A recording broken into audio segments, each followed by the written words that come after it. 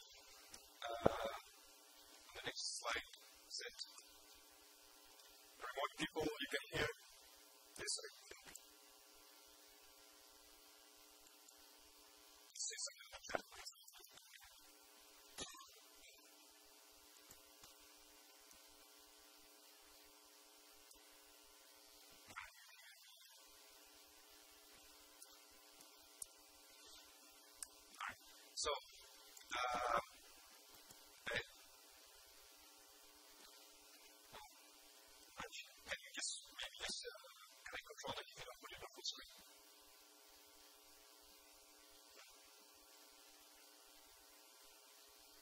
Yeah, uh, let me try. Yeah, it moves. So, just uh, very high level, it's going to show up somewhere. Uh, patches are welcome. I'm working this on my infinitely spare time. Infinite spare time. Uh, you can see there's uh, first section. It introduces a bunch of uh, abstractions to explain some of the concepts. Uh, then it talks about TC overview. We'll talk about queuing disciplines, go into complex egress topologies, classify action blocks, describe how hardware offloading works, and eventually we'll talk about, there'll be a section which talks about how you, how you write a new qdisc, how you write a new action, how you write a new classifier. Uh, so it goes all the way from the manager who just wants to talk very high level about what TC is, to which is just talks about TC as a network infrastructure service, to the guy who wants to code, well, girl that wants to code. So there's a lot of stuff here. I only have five minutes because I just wanted to say that this is going to exist now. So you see all the nice diagrams. Uh, so I'm just going to jump through it quickly. There's even a BNF grammar. I think this is correct. Of how the TC utility works and the graphs when you build the actions and the classifiers. Uh, uh, so there's several chapters. I have about 30 pages so far. And so I'm going top down. I'm going from, if you're a manager, just read the first section and stop may it may make sense for you in a meeting. And and uh, I describe some of the concepts in a little bit more detail. Uh, every TC object has an identity that and a coordinate in a graph and details of that sort. Okay, so any questions on this? I, I won't spend much time on it here.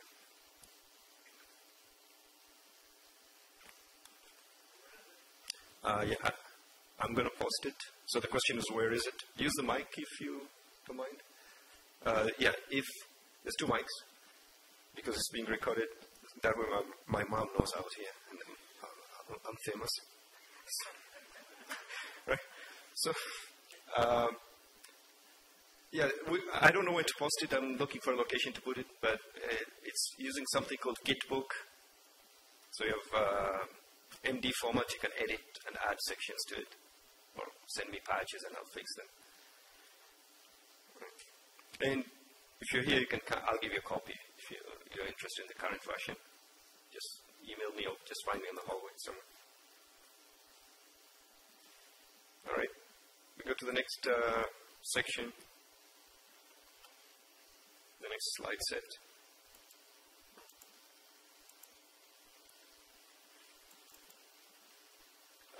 Uh, yeah, the arbitrary metadata. Next slides, please.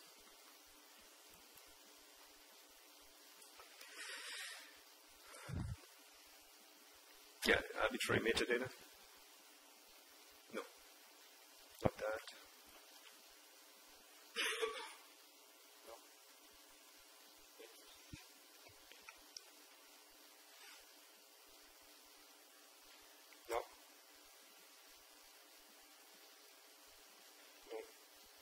Yeah, that one, but in proper format. That looks messed up.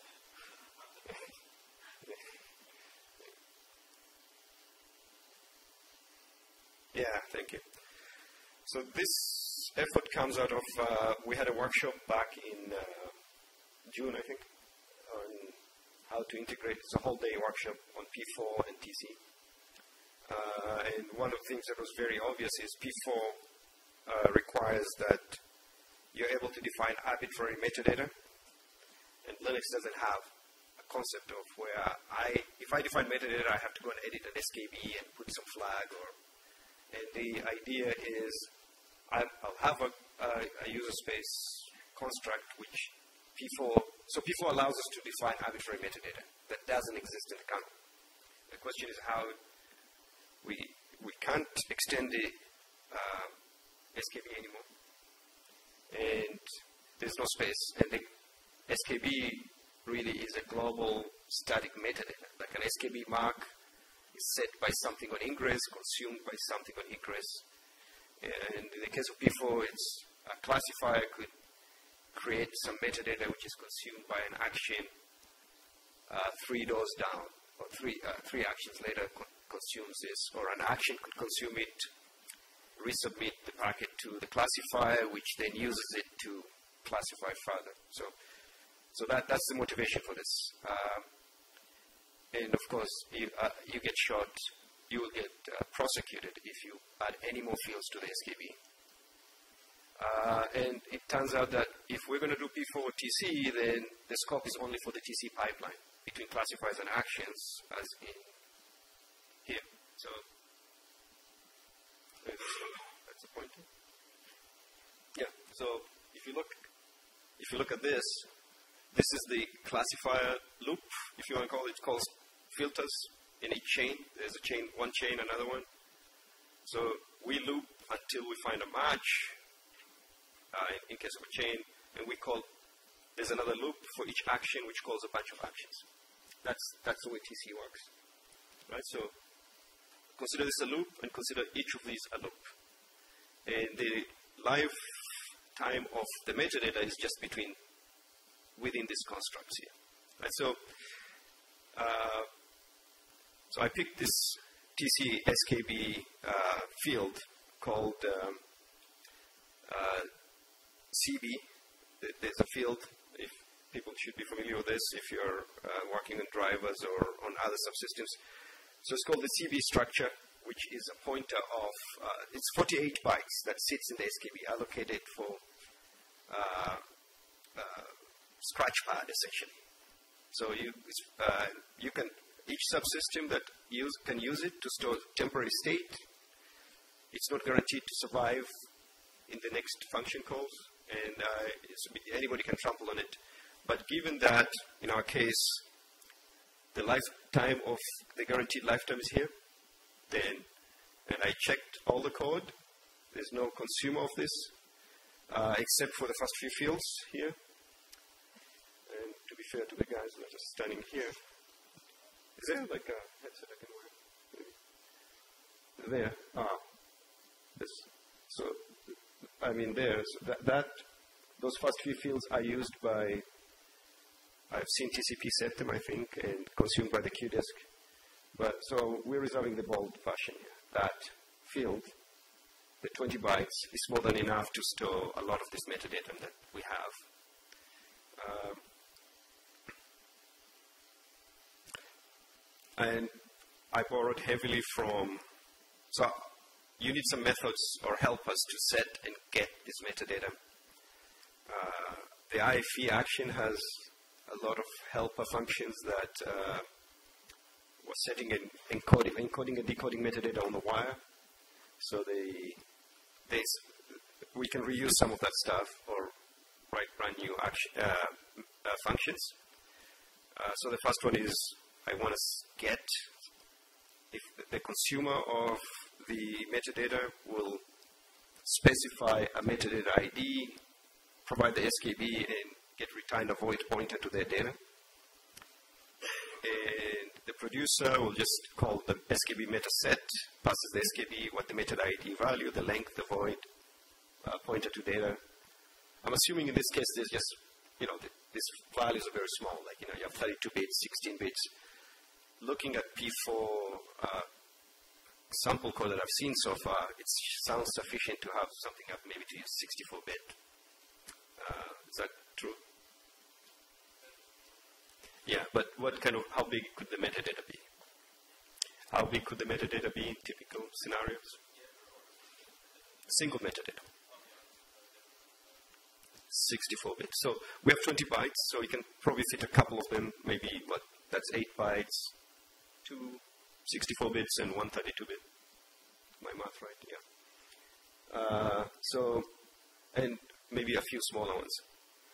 So this looks safe to me that we can pass it between back and forth. Uh, it was identified as a gap in our meeting. Um, I haven't pushed any code yet, but I'm working on it. And since you hear about it here, if you have any comments or uh, issues you see with this. Mike, uh, where's the mic? There's a, there's a mic. Okay, there's one there. There's yeah. Um, mic. Also, just one thought about this. Uh, one thing you might look at doing, uh, instead of using this like 20 bytes, um, you might look at almost like a metadata chaining type setup, where essentially you could take the size of SKB CB, subtract that first struct, and that's what's left over for your metadata struct, um, which could then be a separate thing. Just so you have a way of tracking it instead of having it just be an arbitrary array in the structure. Have something else that your function defines. You could have a header file that says, okay, this is how much data you have left over. If you go across this with your metadata, we should throw a build warning, you know, in your uh, header file, something like that. Where do we put that? Like, there's no space in the SKB. Do you look at it as a global? Well, so you're having to implement this SKB meta get and SKB meta set so essentially, what you would end up having to do is if the length plus, I don't know if there's an offset or wherever. Sorry, let me, let me go back to that uh, SKB struct. Yeah, there, sorry. It is. Right. So um, you, if you were to take the size of the QDisc SKB CB, mm-hmm. subtract that from the known size of the SKB CB region, that tells you the size that you have left. And so you just have to have something where like basically, it would be something that if you're doing a custom P4 thing, you might want to have extra code in there somewhere saying, okay, if my metadata is larger than that, I should throw a build warning because I won't work on this kernel. Okay. Point taken. Um, so we'll define just what that data is in a different structure. Right, and that also would free up more room because right now you actually have was it you only using eight bytes there, so I think you have like 40 bytes left. and It's 48 bytes for SKBC. Yeah, the, the problem when I looked at the code is somebody's actually mucking around with across subsystems. I think TCP sets it. I don't know if it is. I have to go and look again. So I didn't want to touch these first few fields. All right, the first few fields have to stay, but right. nothing says that you have to arbitrarily. I don't think there's anything that says you have to arbitrarily arbitrarily limit it to 20 bytes So when I first looked at it, I'm like, why would it be 20 why not 24? Just you know, keep yourself aligned to an 8 byte long. Um, oh, yeah. Then it occurred to me that no, you can just go ahead and fill in all the extra space that's left over. Yeah, yeah, yeah. Okay. Any more questions or comments? Patches are not out yet, so don't, don't harass me on the, on the mailing list. Once I send them, that's it. Okay, so th- this was a gap that was found, right, when we were having the discussion in the meeting there. Uh, the next one, I guess, this is a good segue to Marty. There's another gap that. Can you put up Marty's slides next?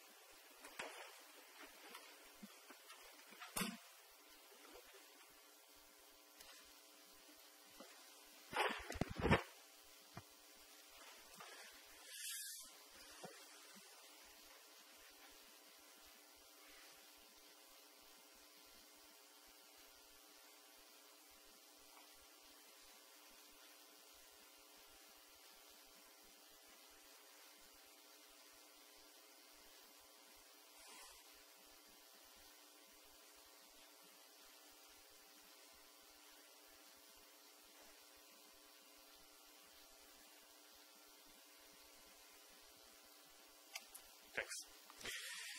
Okay, so um, actually, uh, since I don't think I don't think that everyone in this room was in the um, P4 workshop related to uh, on the TC workshop related to P4, I, I will start with the motivation, what we are trying to do. In general, uh, together with Jamal. Uh, so what, what we're trying to do is actually um, um, create uh, a mode which is which we call an hybrid mode, saying that we want to use all the legacy Linux infrastructure to do routing, bridging, etc., and in the same time being able to um, customize part of it. Um, and this is like so. If you look at the slide, we have the old world, which everything is well defined uh, in the code all the functionalities will be fine. There is some kind of new road which everything is programmable, and there is something in the middle saying I want to use uh, uh, uh, some pieces from. I don't want to replace my IP router. I don't want to replace my bridge, but I do want to create some new technology, uh, maybe uh, a new overlay technology, uh, which is different than the, um, the current one. Maybe I want to add in-band telemetry to the packet somewhere and I want to customize that, um, or to introduce a new functionality which is not which is, which does not exist. Um, how can I change slide? Hmm. Sorry.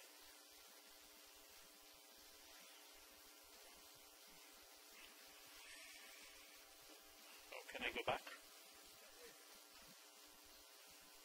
obviously.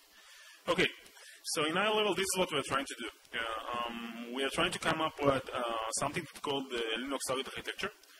Uh, and the idea behind that, that this target architecture uh, will be generic to multiple hardware. It won't be uh, a specific hardware. Um, it will use TCS as, as a backend, and it will uh, be able to use all the um, Linux forwarding entity. In addition to that, to add uh, some customized uh, part. Here they are in blue, the, all the Flex 1, Flex 2, Flex 3. Again, this is an example. It's not all the flexible point that you can use. It, it, it is just an example to, to, to illustrate the concept. Um, so looking at TC, it looks quite capable. You can define a pipeline in all those points, like uh, bind it to an device, create a chain of tables, uh, create quite flexible match and action. We can always add additional uh, um, uh, flexibility there. Uh, and metadata is major uh, part, as Jamal described, because it gives you the ability to define your own data and, and traverse information between different tables. It's quite powerful. Um, but there is an additional missing part, which is the parsing and the deparsing. So I want to focus on the, uh, uh, focus on the parsing part. And again, this is work in progress. Uh, we are working on that now. Um, it is not, it's just an idea. It is not something that works or we uh, didn't write code, but I want to share our plan and to get the fit with me. Um, so the motivation is to customize, to, to modify the parser. And when you are modifying the parser, is not only it is not only the ability to extract uh, field, because then you can use U32, which is quite, quite flexible and quite capable, and you can extract field, offsets, whatever from the packet. It is more than that. You need actually to, uh, uh, um, you want the ability to take a packet with a format with, I don't know, in telemetry somewhere in the packet, let's say after the layer 2, and still make the uh, uh, Linux infrastructure uh, um, to be able to parse the IP header now. Um, so this is in general how a flexible parser look like. you have some basic graph which describe all the nodes. Nodes are headers, and, an, and arch are the uh, uh, um, the movement between different headers. Um, and um, in modern hardware, you have ability to uh, mo modify stuff and, and, program it. And introduce a new header, whether those new headers are after layer 2, after layer 3, replacing layer 3, whatever. Um, and the question is, how can we do it and introduce that into the Linux uh, infrastructure? And what I would like to talk about is the flow dissector, which actually um, extract. Uh, it is the infrastructure to extract in the Linux uh, uh, and parse all data. And currently it is fixed. So it all the header network can uh, uh, um, LT, sorry, L3 and L4 are well defined there. You can see it is hard-coded, and then uh, the format is hard-coded, and once you get a field that you're familiar with, you know how to extract it. But then if you introduce a new field, your, your, uh, the dissector won't be able to extract the IP, even if there is an IP there, and all, all you added is a, a new MPLS or a new in-band telemetry or whatever. Um, and this is what we propose, or we think maybe a, can be a solution to that. Um, the follow the sector is um, looking at the packets, extracting the prototype, and then according to the type, uh, it can, uh, no, actually it is animation, and this is a PDF probably. we won't see the animation, that's not, okay, sorry for that, so I will try to illustrate that. So uh, in each decision point, what uh, we can do is uh, we are looking at the protocol. Uh, we can uh, say, okay, stop. We can say, go back to the protocol. For example, if you have a multiple VLAN header, you want to iterate and extract all the VLAN header. And you can go uh, to the next level, which will be IP protocol for the layer 3. And for the IP protocol, you can do the same. You can decide to rotate back to the proto for encapsulation, for example. Uh, and you can uh, um, rotate in the IP protocol itself. IPv6 uh, option are using that. You are going to extract all the options that way. And you can go out in case um, you parse IP4, you want to move to, um, um, to the um, and what we, do, we would like to add, we would like to add a programmable part in which we can actually add a new TCP option or add a new uh, proto like VPLS, new VPLS or new in-band telemetry or whatever. And for that, um, what we thought is that we can add a eBPF hook point on the proto part and eBPF hook point on the IP proto part, and by doing that, we can actually uh, be able to jump on uh, the new headers and um, jump, whether the jump is going back to the proto and they just digest, digest the new headers or going to the IP proto, going in a loop if you have a new tunnel and, uh, and so on. So this is the high-level idea. Um, sorry for the animation. It was more impressive in my laptop, but never mind. Um, and this is what I have. Any questions, stuff? Thoughts? Uh, can you turn this on? Okay, you got it on. Uh, yeah, Tom. He's touching the dissector.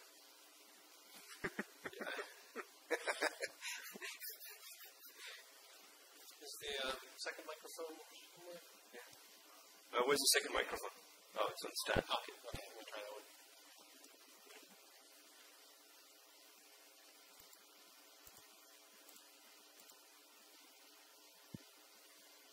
Okay, so um, let me see if I understand this. So we want to have BPF somewhere in here to do protocol parsing.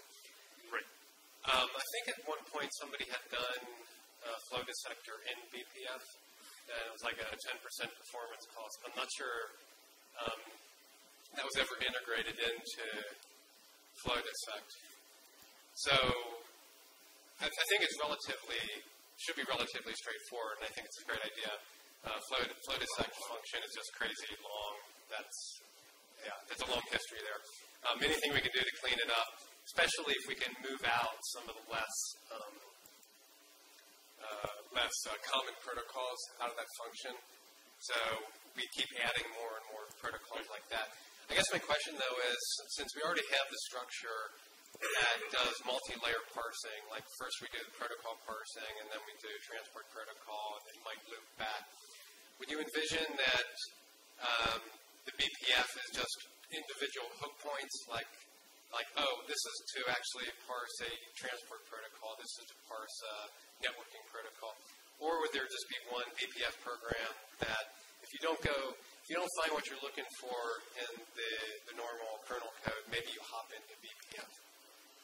So I, my first thought was the first option, just having, being able to add an eBPF program for each one of those blocks. Not replacing all of it, but just customizing the, or introducing the add that you want to add. But I think that, again, probably we will implement that and we will see. Maybe we'll need more flexibility or to replace more, to Yes. be able to customize more. So, so we have two switch statements, and you know, these are the Right. two main switch statements. You can have a default case in both of those. But then it might also be interesting. What if you want to override uh, the processing for like IP proto TCP? What, so you may then you have to have more or separate. So I think the implementation is going to be interesting um, because this protocol or this function is already so complex, and we're trying to reduce the complexity, but that may entail actually populating a lot of uh, hooks into various points. So it's an interesting idea. Look forward to it. Cool.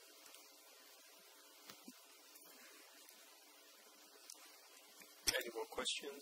Yes, uh, Um, you talk about eBPF, but at the end you have uh, probably want to take it to the hardware. So, do you think that eBPF is the right solution, or maybe it's something that's more generic and Right. Right. What do you mean by right? This is one of the options. So um, this is not the only option. So eBPF is one way to expose programmability. Prob- Probably there, may be another option. I'm now talking about, you know, looking at that in my personal need, saying, okay, uh, I think this is a good solution in order to express uh, um, a new parser, and this is something we can offer. But I guess that there will be other uh, proposals as well and other methods as well. all are welcome. It's not like the only solution. because in the beginning the customer had probably some concept, like a P4 concept, a flex parser. No, no, the, the, the, okay, sorry. And, and I didn't mention that. it to, to eBPF, and then you want to take it from eBPF back Yeah, yeah. to hardware that's not supporting eBPF, So again, so so eBPF, no, so so eBPF gives you the ability to do everything. Everything like very flexible. I'm not talking about being being able to offload eBPF. I'm, I'm talking about being able to offload eBPF parsing uh, definition, parser definition. But this is something we can offer. And again, the, the idea is that the user will write a P4. It will be compiled into TC and eBPF, and we will be able to offload the, the match action from the TC to the hardware and the parser part from the eBPF to the hardware. So, yeah, so essentially the eBPF becomes the fallback for the hardware offload. So it comes down to. Yeah. Or if you have a And- software only. Right. So, uh, how do you offload? So you have a scheme where you could take the BPF uh, program and transform it into parser in the kernel in your chip. Yes, this is this is the intention. No, you prefer to take the original code, the P4 code and take it to the chip. I see. You don't want to take it to compile it to eBPF and then try to. I No, see. just a minute. We don't have a, we don't, this is a channel that we don't have. We do not have a channel that will put, tran- transfer the P4 original program to the uh, kernel. right? Okay. I'm not talking about So introducing a new user space channel in order to give me the P4. I'm talking about taking the eBPF bytecode and offload that. offload into your ASIC. Yeah. Again, as long as Sounds- we are sounds talking a about very specific Okay. EBPF program. Uh, sounds a little crazy, but So it's not generic. I, I didn't, and again, I didn't say we are going to offload I'm kind of agreeing with Ronnie actually. I- I'm actually going to propose the opposite in my slides, which is like you take the P4, you generate some firmware for your ASIC, for example, and you generate some eBPF bytecode, which is going to be the software fallback. But the control path always goes through the kernel and eBPF map, so only that part is uploaded, the, the control path. I don't have a problem- with that. This is a different concept. So now you're saying that you have two paths. One you are going to configure, in one in, which you are going to configure the hardware, and the other one will be the kernel. So this is yeah. So this is a little bit different than uh, the offload uh, mechanism, which you are offloading something that the, that the kernel has. Now you need to under, uh, explain how you make sure that there is a consistency between them, and they behave the same, and so why it is different than other SDK. Uh, yeah. So to, to use Alex's terminology, it's when you're when you're it's a back uh, it's it's a backup to the hardware. It's, it's not really a hardware translation, but rather if you have to do it in software, this is how you would do it. Then yeah, BPF may make sense there. Uh, So, so I will point out some hardware does support BPF also. Uh, so like Netronome, this, this you would just take the same exact program, push it down to hardware. So it's not like it's either or. They're actually um, they, they may just be different, but the, I think the fact is right now BPF is embedded in Linux kernel and P4 isn't. So it's kind of a, a no-brainer from that point of view to go with BPF for this. th- th- this, so for Netronome, it makes sense, right? I mean, you take the same blob and push it into the hardware, and it works. For yours or other people's Uh, again, again, I'm, I'm not talking about eBPF in general. Right. I'm talking about very specific and small programs. Just one actually, piece of it. Yeah, a small piece of it that uh, only uh, uh, extract know how to define a parser, and for that, that we can offload.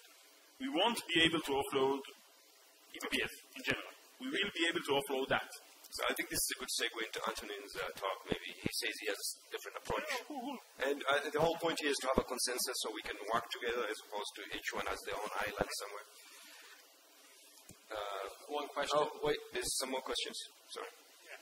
So I'm concerned about the actual uh, packet path. If, if the packet's already gone into the kernel and we've started processing it essentially in software, now you have to have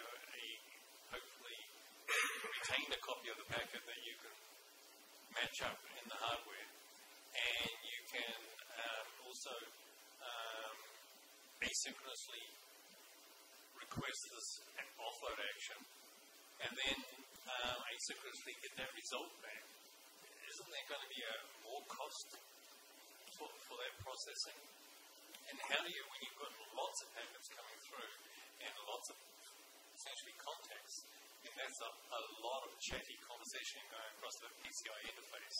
Um, okay, so just um, I didn't start with that. I'm from Mellanox Switch, and this is something we are doing in the switch. So in the switch, we don't have. So when, when you're talking about software folding in the switch, it is mainly for exceptions, like ARP miss, TTL violation, MTU violation, and so on. We are not forwarding, really forwarding traffic in, in software. It does not work when you have 6.4 terabit device, right? You cannot really do a slow path. Uh, I'm from the same background as Matty, so I kind of agree with that. Maybe it's a simplistic view, but for me, either you can do the whole packet processing in hardware, or you have a pointing to CPU pass for exceptions through the PCIe, and then because you have your software fallback, you can uh, do the entire processing in software, or go to uh, user space application. Uh, anybody remote that has a question? Uh, don't know if they can hear me. Hello? All right, just say something on the chat, I'll see you.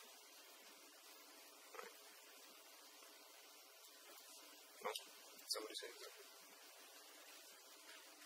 David?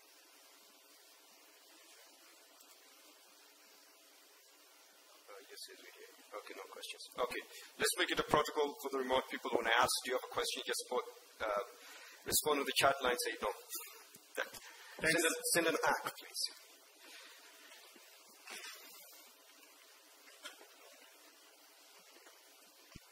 Hi, so I'm Antonin. I work at Barefoot Networks. Uh, I mostly do, I mean, I do a lot of open source P4 stuff and mostly in the realm of um, runtime APIs for P4. So how do you control your P4 objects at runtime? So most of my work is actually user space uh, APIs for P4. And uh, I think in this talk, I'm mostly going to focus on the match action uh, part of P4 and how to uh, run that in the kernel and how to upload it to programmable hardware. And this is joint work with my colleague Kerem at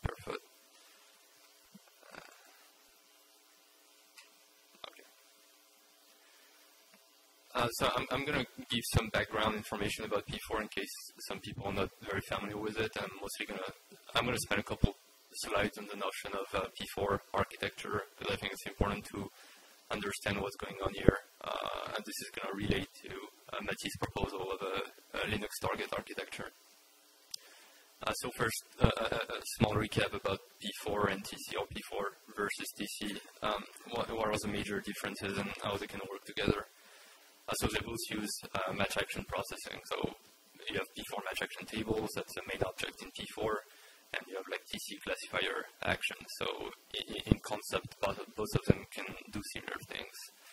Um, one, one, difference is that P4 tables have a fixed compile time list of actions. So when you define your P4 program and you define a table there, you give a list of actions which you can apply on the packet in case of match. And when you add roles at runtime to those tables, you have to pick one of those actions. You can't just give a new action. Uh, so my understanding is that's uh, one big difference. Um, I think co conceptually, all of this falls into the category of like P4 is a programming language and it assumes a, a compilation step. Um, so you compile your program and you basically have that static compile database until the next recompile compilation and the next reconfiguration. And so I think one, one big difference compared to what you can do in software is that there is no incremental uh, compilation. You don't have like uh, APIs that let you uh, modify uh, the control flow graph, uh, the classifier action graph at runtime. And so why do we have this compilation step? Well, we try to have something which can be efficiently uh, supported across many uh, types of devices. And for example, in our case, uh, at Barefoot, with our programmable ASIC, it's like it's much easier if you have a global view of the pipeline once, because then you can compile it with some optimal allocation of resource. If I try to create like objects on the fly, one table, one table, one table, connect them together, I'm, I'm gonna have a very inferior uh, resource utilization, and I'm going to be able to do much fewer things. Um, and I think P4 is a very powerful tool in terms of programming the database, while well, this is not, I think this is a strong statement, but maybe TC in my mind is more runtime programming for an existing database, at least some classifiers. And, and don't hesitate to interrupt if I say something stupid or if you have a question. Um, and so I think P4 is very good at describing your end-to-end uh, packet processing place in, in, one place. And, and, because you have that description of your data plane with those objects, you can also generate some very nice control plane APIs for it. So P4 architectures, and maybe that's going to help like understand Matty's proposal a Linux target architecture. Um, so the P416 version of P4 introduces the notion of architecture.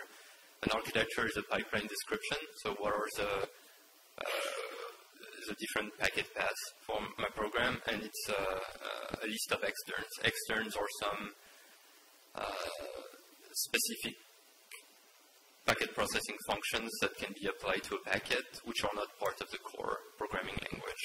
So this can be thought of as like a standard library functions.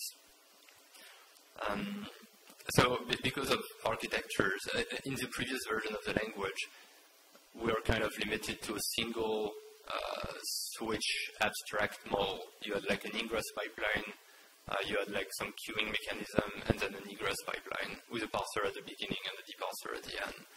And that, that standard architecture was mostly thought out for, I would say, data center class switching ASICs, because uh, I mean, uh, there's no point in hiding it. I think it was mostly driven by Barefoot, and Barefoot that is programmable ASIC, so that architecture was working well for Barefoot. Um, so it was too limiting, especially once, when you want to define one network programming language that can be run on like NICs, uh, FPGAs, and so on. So in P416, a vendor can provide an architecture definition which is tailored specifically to their hardware. So if I have an FPGA-based NIC, I can write an architecture with a pipeline description and a list of externs which are going to work optimally for my uh, hardware. Uh, there is an obvious problem though, which is I kind of lose portability because now every vendor can define their own architecture and if I move from one vendor to the next, well, I can't run the same P4 programs, and I have to uh, write new P4 programs. And so to counteract this in a way for people who are mostly interested in the portability aspect of P4, we have some standard uh, architectures uh, for different classes of networking devices. And you can think of them as like uh, the highest common denominator uh, between all devices in that specific class.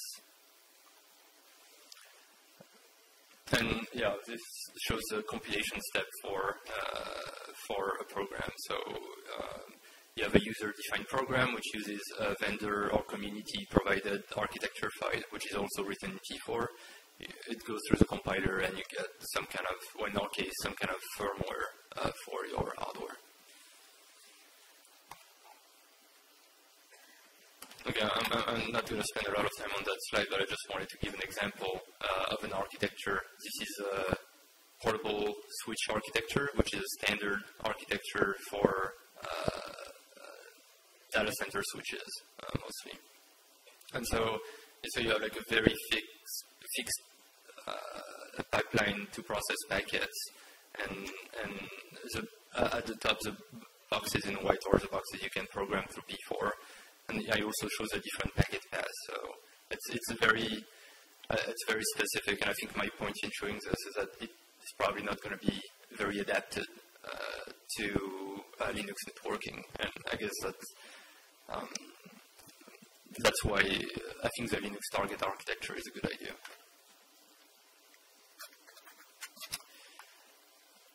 So one issue we often have with P4, and I want to say it's more like a, a challenge, something that needs to be uh, thought about, is that usually P4 means different things for uh, different P4, uh, for different people. Sorry, that's not a, an exhaustive view, but like for some people, like if I, I if I if I'm selling a fully programmable uh, ASIC, maybe P4 is a great way for me of programming the through target-specific uh, for a target-specific architecture and getting the, the most possible resource utilization and performance out of my hardware. But for other people who are more interested in, in, uh, in portability, for example, or they can use standard architectures and then it becomes a great way to achieve vendor independence to define a program which they're going to be able to compile and run on, on different hardware. And often, I think the big challenge for P4 is I either get efficient hardware programming or I get something portable that I can run on, on multiple vendors. Um, and so what I think uh, uh, P4 can bring to Linux is, well, the most obvious thing is a convenient way to describe Linux networking in one place as a single program uh, that people can refer to.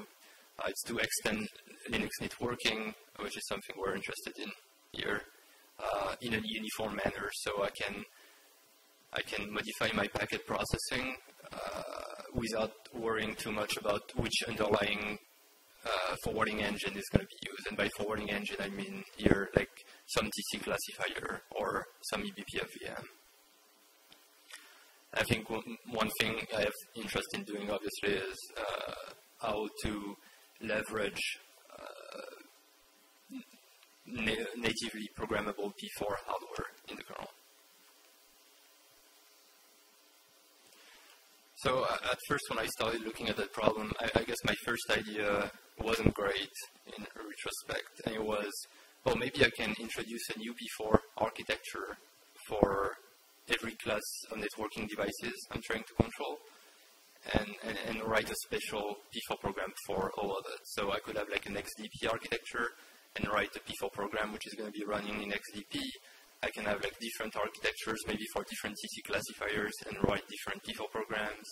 I can use a portable standard architecture for uh, for switches and write a specific P4 program for this, and somehow I would find a way to have those P4 programs work together. Um, uh, like if, if I have a packet missing my ASIC, maybe uh, I have a way to punt the packet to my XDP program and so on. And I would be able to control those different components independently through their own respective uh, APIs. Uh, I would still use the ASIC SDK for the ASIC part, and I would use eBPF maps, uh, eBPF map, sorry, for the BPF part. Uh, maybe this is an interesting way of building a network, but I'm not sure that's the right thing, that's the thing we're trying to achieve here. Um, because essentially, well, you're still in the SDK model for your ASICs, and what we're actually trying to do is have a unified P4 program which can run in Linux and can be like seamlessly offloaded to programmable hardware when that hardware is available. Uh, sorry, is that my mic on? Hello? Yeah, so you have an island of many different approaches, XDP, TC as is, uh, BPF, and you're going to write I translated all of these things. So my, my original thought, but I, I, kind of we talked about this and I gave up on that was like to write P4 programs targeted specifically at those different pieces you're referring to. And uh, I thought about it and I don't think it's a good idea. So my idea is kind of like Matty's idea to write a single P4 program, and I'm going to get into this into more details for a Linux target architecture and have like the different flex blocks like seamlessly compiled and offloaded to those uh, different pieces. So plugs into the different pipeline, in the Linux pipeline. At every hook, you may want to add a P4 program. Yes, yes. yes. Okay, that's your idea, right? And, and, based on the hook, I can run it using a given TC classifier, or if it's early in the pipeline, I can run it in XDP, for example. So, uh, somebody wants to say something? I don't know who Elio is. Yeah, keep going. I'll, I'll talk to him. All right. So the first thing you can do, which is pretty basic because it doesn't give you a way to extend the packet processing path, is implement switchdev. Uh, implement the switchdev model using P4 and that PSA architecture I described early on. Uh, and basically what you get is like the fixed P4 pipeline uh, on which you can run an offload switchdev. So we implement like the offload functions on top of some generic P4 drivers, have vendors implement those generic P4 drivers, um, and basically everything would work. Uh, uh, you would get switch switchdev offload for P4 native hardware through those uh, new P4 drivers, uh, and you would also, and, for legacy devices, never nothing would change because they already offload uh, switchdev. So really, all I would get from this is well, apart from a P4 description of what's uh, happening in switchdev, which could be convenient, is I would really only get like the ability to uh, do offload for P4 native hardware, but that would kind of be a waste because I cannot use the programmability capabilities of that hardware.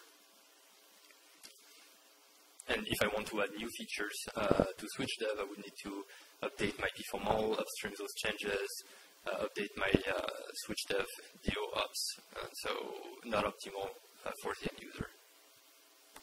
And so that's what it would essentially look like, right? I would have my Linux.p4, which is not to be confused with the Linux target architecture that May has been describing. I would reuse an, an existing standard architectures and I would implement uh, SWitchDev and UOps uh, using P4 uh, drivers, which called like, um, which I call the PI API, and I, will describe this more in details, but it's essentially just P4 specific API, so I'm going to refer to it as P4 drivers. Any question on this?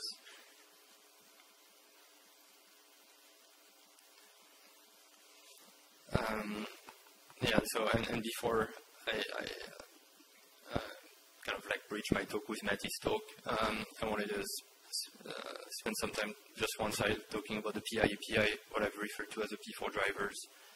Uh, so this is like a, a vendor independent API, uh, which is designed specifically for runtime control of P4 objects. So that API exists.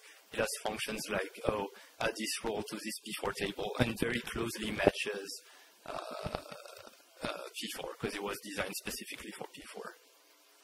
So it's program independent. That's what PI stands for. It works with any vendor and with any new P4 program. When you write a new P4 program, that API is generic and it doesn't change.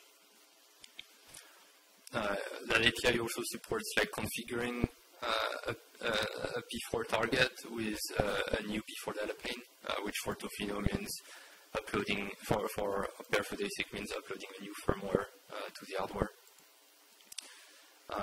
It comes with a native serialization format, and the expectation is that P4 programmable hardware can implement that PI application in an efficient, what I call native way.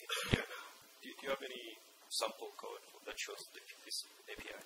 I, I forgot to add a, a backup slide. Uh, okay. I, I, guess I can pull it up if we have more time at the end or if there are questions. Okay. And so that SwitchDev Linux.p4 approach like would work great. Uh, it would let us like offload uh, existing Linux functionality to, to P4 programmable, P4 native hardware uh, but it's not a great way to expose programmability to the user and uh, have a good way to um, uh, extend what you can do in the networking space. Uh, and so that's where where I'm piggybacking on uh, Matty's talk. I think you first proposed that a flexible pipeline at the last uh, NetDev. Um, so I'm stealing that idea from you with no with no shame, but I did put your name, so it's okay. Yeah. Uh, I, I, instead of taking your slide, go through the trouble of creating a new uh, uh, diagrams. So you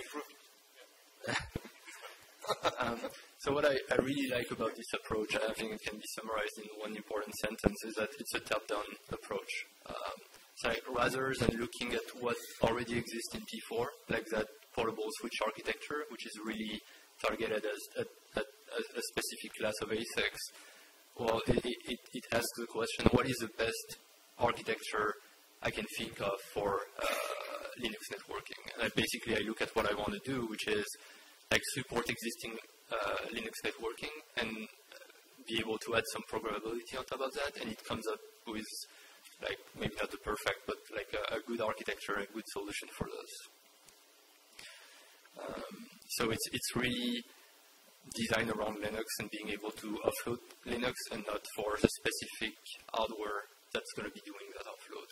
Um, and as Matty said, we're going to use like, I mean, the idea is to use various hooks in the kernel to run P4 custom code at those hooks uh, without disrupting existing uh, protocol processing. And what I like about this uh, architecture is we can we can start with just plain uh, Linux networking with the bridge and the router and all functionality, maybe one flex blocks and start doing some things. And then we can add a different flex blocks at a different hook point. And there is that ability to do something very incremental. Um, and I think there is also the ability to like test it because regular Linux networking should still work in that approach. Yeah, if I provide like empty flex blocks, nothing should be different in theory. Um, obviously, one difficulty is that we need a parser and a deparser. We need to figure out how to map uh, um, P4 parser and deparser uh, to. Why, why, do we need a deparser? I, I, I, got the parser thing. You don't want to upset Tom, so you want to yeah. do your own, right? but why do we need the deparser? In, in, Linux, we already have all the right pointers to construct the packet to send out. I, think if you already know in, in which order the headers are supposed to go out, you don't really need a deparser. So if I go back to the P4 early days, uh, there didn't used to be a deparser. You just have the parser, and based on that, we would like build the parse graph, run a topological sorting algorithm on the graph, and figure out how the headers were supposed to go out. But there were some cases where that topological sorting wasn't unique, and then you could have actually some weird cases when you were adding headers in the pipeline that were not present in the original packet, where things would get re- reverted based uh, right. compared to what you were you were expecting. So the idea was to have like a non ambiguous ordering for headers, and that's really all the deparser is giving you. So maybe we don't need it. Uh, I think it's, it's, it really boils down to the case where you add headers in the pipeline which were not present in the incoming packet, so maybe you don't know exactly where to put them. Yeah, the, the, the other point is, even for the parser, you know, U32 has a built-in parser essentially. I can yep. offset length. I look at the value, I compare with something. I don't need to. Pre- uh, it, it's a simple parser. I can I can parse anything. Uh, yeah, I, I actually thought that's what maybe that's not what Matty's proposal was. Uh, actually, my understanding was that we would more do like parsing on the fly as it's needed. So if I do TC32, I don't really need to parse. But if I convert P4 to BPF, uh, whether in XDP or in TCBPF. Right. Maybe I can do the parsing I need uh, in, in that same BPF module or whatever uh, the name is. Okay, so, so the flex could be, could it be a kernel module, or it could be a BPF program, or it could be. Uh, well, I thought I, I, um, I, didn't say that. I think one of, one of my objectives was to do it without generating actual. I mean, I know eBPF is a is kind of we had this talk uh, at the last uh, meet, right? The idea was to avoid generating like kernel modules because of commercial distributions. I mean, uh, yeah, that's Alex's point at the time. Uh, but uh, okay, maybe we'll take that offline. If there's time, I'll, I'll bring it up again. Okay. Uh, yeah, but I, I, guess one challenge with parsing on the fly is you don't want to break existing protocol. So as Matty said, if you have like the telemetry header in between L2 and L3, you still want to be able to parse that L3 header. Uh, and so one interesting part is, so actually maybe, yeah. So I, I, decided to be a little bit more concrete here and actually show what the Linux target architecture uh, could look like uh, in P4. So when you define an architecture and with those uh, flex blocks, you have to define precisely what the interface for each one of those flex blocks is going to be, what's available as an input parameter, and what you can write as an output parameter. Um, and, and, here I'm going to kind of reconnect with uh, Jamal's talk, because um, in particular you have to define the metadata which is available as input and needs to be provided as output. Um, so if, if you look at the Flex One uh, signature, uh, well, you, you notice that you have that H header that comes comes up all the time. So in P4, we assume that you do the parsing once. That, that doesn't mandate how you actually implement it, but in P4, the language, we assume that you do that parsing up front at the beginning, and then you have a bunch of headers which are available throughout the pipeline. And so that H like gen generic template-like parameter as actually the header type which is available throughout the uh, pipeline. And obviously the architecture doesn't mandate what H is. Uh, it's up to the programmer because the programmer can define its own new protocols. Uh, then you have that user metadata which is also user provided, uh, which is available throughout the, throughout the pipeline. And so for this, maybe we could use like Jamal's proposal I think one, one, one, one issue I see with that, and I don't know how it can be fixed, is um, here I'm kind of assuming that that user metadata is available in every flexible block. Uh, and so maybe we need to think about this. I mean, it's kind of convenient to be able to access some Flex 1 metadata when you're in Flex 2, but I don't know how it's going to work if like Flex 1 is running in an XDP and Flex 2 is running in TCU32 how are you to able, how are we going to be able to pass that metadata from XDP to uh, TCU32? Yeah, that's uh, so that's tricky. So my, my thought was only in regards to the TCE pipeline itself. So the there is a connection between the CTC, BPF, and XDP because you can share data structures like maps, for example, can be shared. But I don't know if uh, I'll have to think. Maybe someone else has an idea how to do this. I mean, I, mean, I think it's acceptable uh, at first, at least, to maybe limit the scope of metadata to a single flex block, and then we will not have this issue, uh, hopefully, and see if we actually run into some serious limitations based on this. And so you also notice that there is some what, I, what I'm going to call like standard metadata for each flex block, and that's the metadata. That's basically how flex blocks communicate with the fixed Linux pipeline. Um, um, yeah.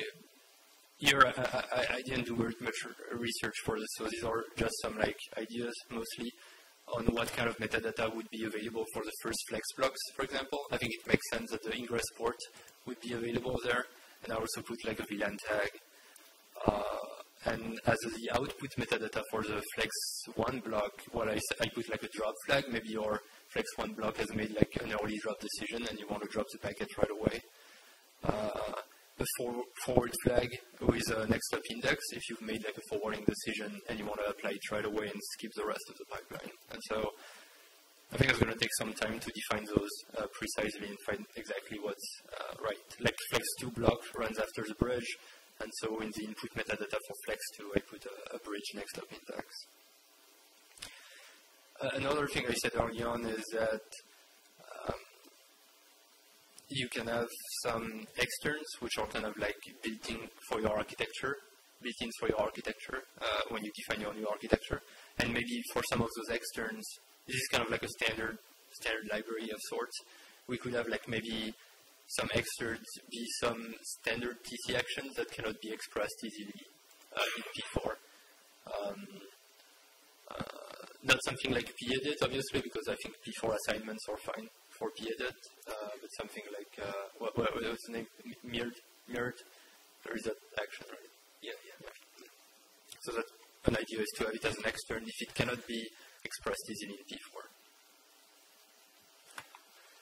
So how do we compile and run those uh, flex blocks? So in, in, my view, and I think here we're kind of converging to the questions at the end of Matty's talk, like uh, uh, do I compile to BPF bytecode and then I take that BPF bytecode and I offload it to hardware, or do I compile my original P4 into some bytecode and something the hardware understands, some kind of hardware firmware? So my view is more like the second view. Um, and so flex blocks need to be compiled for both software and hardware. Uh, so for hardware, let's start with it because it's uh, easier. Uh, well, for P4 programmable hardware, for example, it's just going to be some vendor-specific uh, binary or firmware. Uh, once again, that's not that's not code that's meant to be executed. It's just like in our specific case at Barefoot, for example, it's how do you initialize your hardware registers and how do you uh, allocate your uh, TCAM and SRAM resources. And for software, well, that can be which classifier am I going to be using for this specific flex block or for that specific part of the flex block? I'm going to use a TC classifier. Am I going to generate some eBPF code, which I'm going to run into XDP, and so on. Um, and so the idea is that each vendor of native P4 hardware has to provide a compiler backend that understands this architecture, is a Linux uh, architecture, and can therefore generate the appropriate firmware for that specific, for, for the user provided P4 program. And, and, and because for software, we have different like forwarding engines, different engines, different pieces that can run the P4 Flex blocks. The idea is to have a Linux compiler driver um, that can compile flex blocks to run into the kernel. Um, and some work, uh, we don't start from scratch here, obviously. Um, uh, if you look at on GitHub, VMware has already contributed um, uh, P4C XDP compiler, so that generates BPF code that can be run in XDP.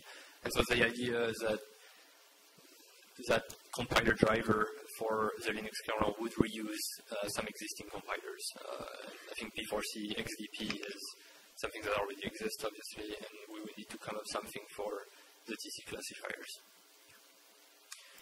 So a question for, so if you were to take that P4C to XDP, there'll, there'll be a rewrite a little bit to fit into what you're saying, yes? There'll be a re- I, I think it's, it's more about how to invoke it, figuring out how, uh, for which flex blocks we need to invoke it. And I, I think for XDP it's pretty straightforward because you don't really have a lot of flexibility on when to run that code. And, and how would you know that you want to do P4C XDP for a specific P4 program? Is there like a pseudo language that says I want to use Well, this? so yeah, um, uh, that's what I'm going to talk about now. I think it's it's uh, not for a specific P4 program, more for a specific flexible block inside of that P4 program. I. So, but, but I can target the same flexible block, flex block with multiple with multiple outputs. Uh, one, let's say, um, XDP, but maybe I just want to do TC ingress. Yeah, maybe I can have. I mean, I, I can skip XDP altogether and say I'm going to run into TC ingress. Uh, uh, but I can also do both, right? I can do flex one block in XDP and flex two in TC ingress. So it's up to the whoever's creating the policies or the whoever's compiling the P4 to decide. I think there are two things to look at. Here, I'm actually talking about this approach, but I think maybe long term there should be a way for the compiler to have some uh, brains and figure it out. Right? Yeah, I mean, I don't mind just telling it what I, that I, I want XDP, for example. Yeah, and, and so that's why I, I think we could have like, so P416 has this mechanism called annotations, which basically lets you attach any kind of flags to P4 object, and you can define kind of like your own meta language uh, using those annotations. And basically, I have an example here. Next slide. Uh, what I'm saying is we could define like a new annotation. Here I call this Linux classifier, but it can really be uh, anything. And and basically, when you write your P4 program, you would be able to choose what's going to run that specific part of your P4 program in the kernel. The correspond uh, answer your question? Uh, I think, yeah. So the exact granularity is like kind of to, is a TBD. Um, I can do it on a control uh, base, on a flexible block basis, or I can have like finer grain granularity and do it on a table basis uh, or table chain basis. Okay, um, question. So I was following you until the last three statements, Linux classifier, XDP, uh, what have you. Why would that have to be in the program? Can't I just compile the P4 program and then insert it into the kernel at the given point and then have a kind of a link time, let the kernel decide whether or not it can run it? Well, I think what, what your compiler is going to generate is going to depend on where you want to run that code. Uh, so it doesn't have to be in the P4 program, but that's information that needs to be passed to the P4 compiler, in my view, because the P4 compiler is the one that's going to generate a BPF bytecode, for example. And my BPF bytecode, I imagine, can be different based on whether I run it in XDP or using TCBPF. Okay, so, so look at like XDP and BPF. So both of these will output BPF bytecode, correct? Yes. Okay, but the difference is in XDP we may use some helpers that aren't available. Exactly, yeah. That has to be part of the uh. And if that's why right now, if you look on GitHub, there is like VMware has developed uh, um, a P4C XDP compiler that generates eBPF bytecode specifically for uh, XDP, and there is like a P4C BPF uh, compiler, which I guess is more meant for TCBPF, which is developed by the P4 community.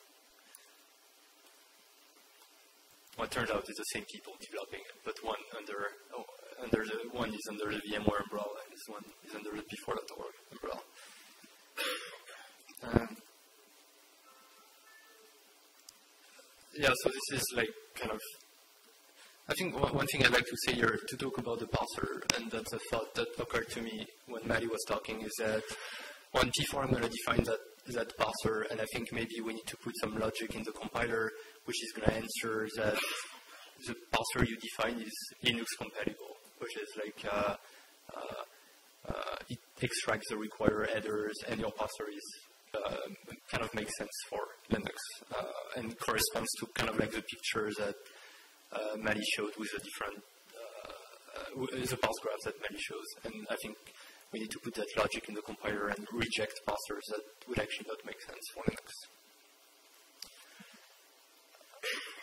so here uh, I, show like the well the Linux architecture uh, that we've been talking about. I've defined my own user program, and this is like the case of like P4 programmable hardware. So uh, I, I, I, showed the Tofino, compi- Tofino case here in addition to the Linux case, but we don't want to get stuck on that.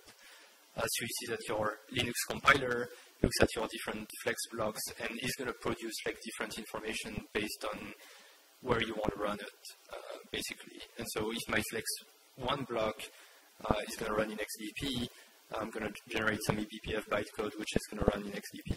Uh, if my flex two block was going to run in a TCU32 compiler, well, I don't really need to generate any bytecode. Um, however, in both those cases, you'll see that I'm generating some, I'm showing an extra file, which is a .map file. And the way I envision it, and I'm going to dig into more details in the next slide, is, well, we kind of need some, if I if I want to have like that software fallback and that hardware offload, um, and, and let's say my, one of my flex blocks is run into is eBPF, right? And so I'm gonna, if I want to use eBPF maps to to populate those maps, I, I need to have like a standard P4 way of knowing how to offload those maps uh, to P4 programmable hardware, rather than relying on each vendor providing a driver. Maybe for P4 programmable hardware, we can have like a single P4 driver and the standard way of offloading eBPF uh, to P4.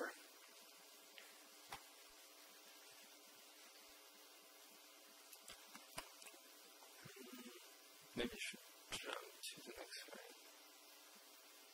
Yeah, it makes more sense. So here I'm, I'm, trying I'm trying to show the big picture of the control path. I think I think we've covered my vision for the uh, configuration path, uh, which is well, I generate some output for the. I, I, use my compiler to generate some output for. Uh, oh, there is a scaling issue, no? but hopefully it doesn't matter too much. Uh, so I use my compiler to generate some output for the for software. Uh, I use different vendor-specific compiler to generate my firmware uh, for a specific P4 programmable uh, device. So what happens at, at, at runtime for the control path? Because I don't want to bypass the kernel, right? So I want to be able to use uh, my TC command line, for example, or my uh, eBPF maps, and I want those to be offloaded to hardware. Um, so I'm showing you a few things here. So uh, and it's kind of like a shameless plug for me here because P4 runtime is kind of my baby.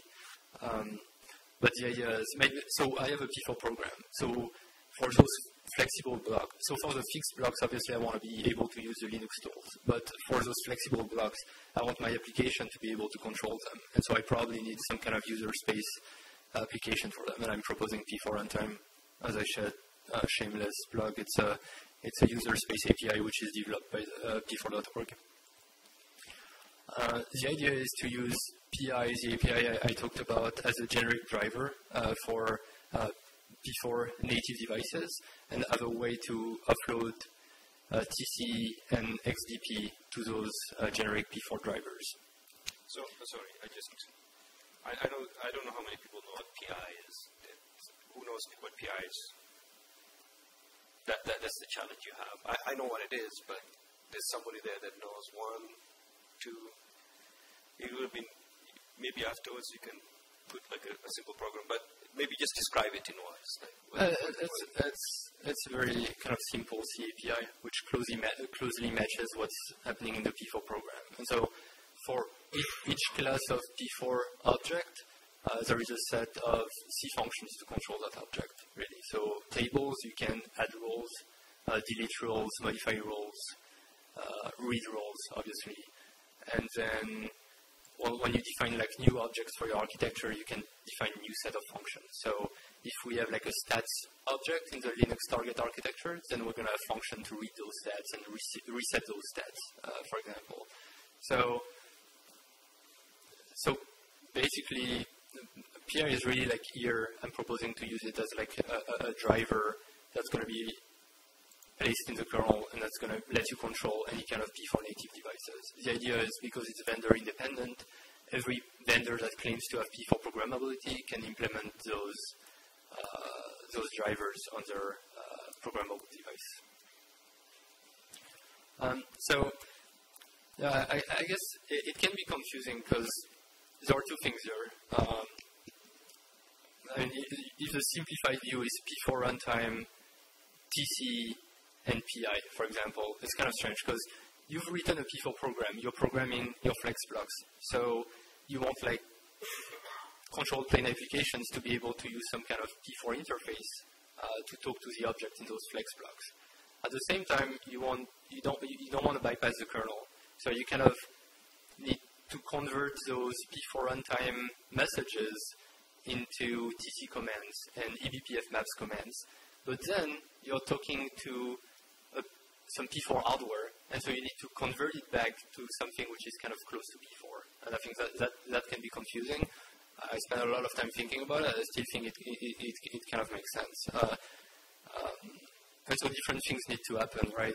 You need to be able to convert the, and, and you need like kind of a lot of information here, which is going to be provided by the compiler. So you need to know how to convert your P4 runtime messages to TC commands. And let's take an example. Let's say I have like two or three tables in one of the flex blocks, and I'm choosing to use like TCU32 uh, or TC flower even to implement those tables. So now I'm going to define like a TC chain with those three tables. Uh, and as I'm, I'm, getting P4 runtime messages, I need to be able to convert them to a TC command for that chain. So I need to do, know the chain number, for example. So there is some information that's required here on how to map P4 runtime messages to uh, TC commands. And then there is information required, kind of like the symmetric information required to, to convert uh, TC commands and offload them to hardware using the P4 drivers. So you kind of need to do the inverse translation. Not quite because P4 runtime and PI have some differences, but kind of it's, it's, it's still kind of like the symmetric conversion.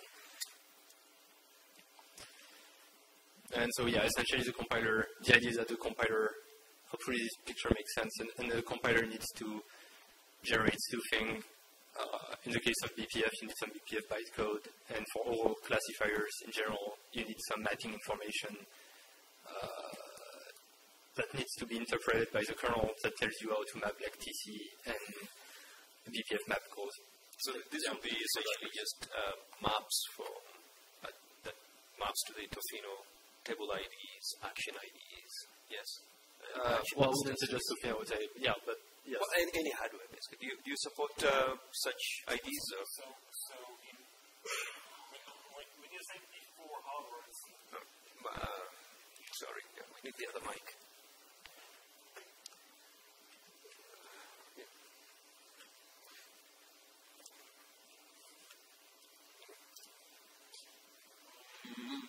So I get the idea, and I think this is very interesting, and I, I, I, I guess that it is quite generic, though uh, I think there is, um, it's not mandatory for, if I'm, I'm looking at Naransalvo, for example, and Aldo can do P4, but it can do P4 in hybrid ways. Actually, they can actually skip the uh, P4 uh, runtime API in the kernel, part of it, sorry.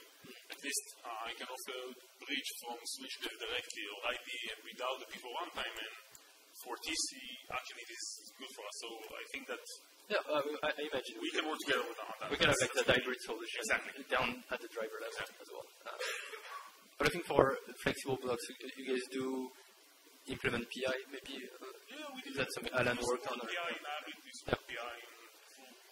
The idea is to try to have some generic drivers rather than. Yeah, that's, that's, yeah. that's good. So, but, but it, Okay, so this is good for you two guys. Is there any NIC vendor that wants to say something about this?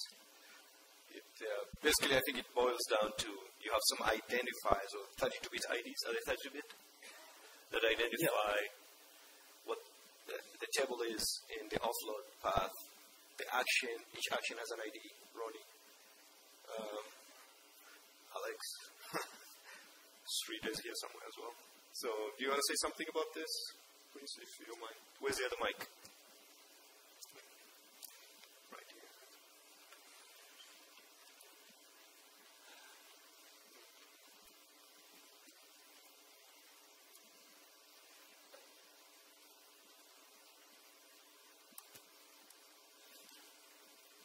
They made you work for nothing. Should I go on? Getting close to the end. Uh, yeah. So, kind of like, uh, like to recap here and give maybe a higher level view of what's happening. So the idea is to leverage uh, the existing Linux pipeline and introduce some programmability through flex blocks rather than full programmability or uh, full legacy pipeline. Those flex blocks um, uh, can be realized in, in the kernel software using TC and XDP, uh, and hardware offload happens through PI. I think once again to rebound on the conversation we have previously that, that offload is the compiler produces still, you still have like two compilers, one for two compiler backends rather, one for the um, one for the Linux kernel and one for the hardware. I mean, at least in this proposal. And so you pro still produces you still produce a firmware that tells you how to configure your hardware rather than try to do uh, configuration offload through the BPF, uh, through the BPF bytecode, uh, like uh, Matty described. Um, yeah, we don't generate any kernel modules. Uh, hopefully, we can do it without generating any code.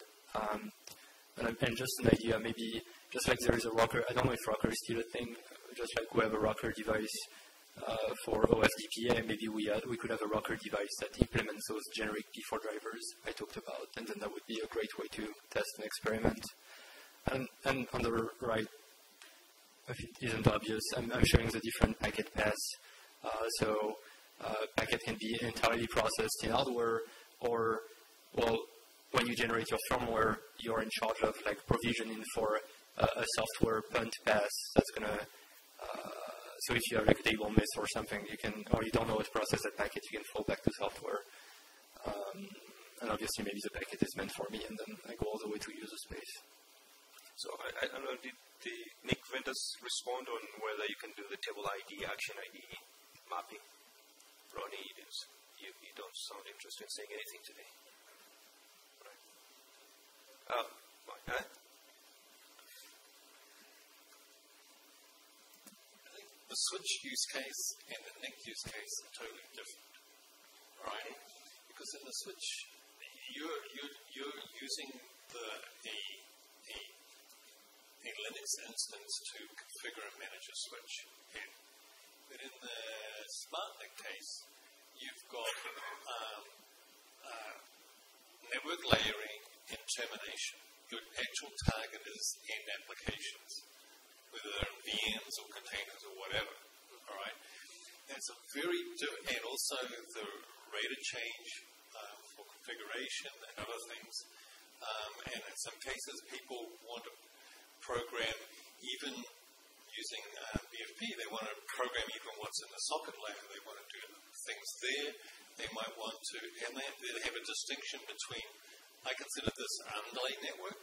So in, in, in a data center server, you have the underlying network, which is essentially the, uh, and you have a mapper, a vSwitch for that, and then you have the overlay networks that are on top of that, right?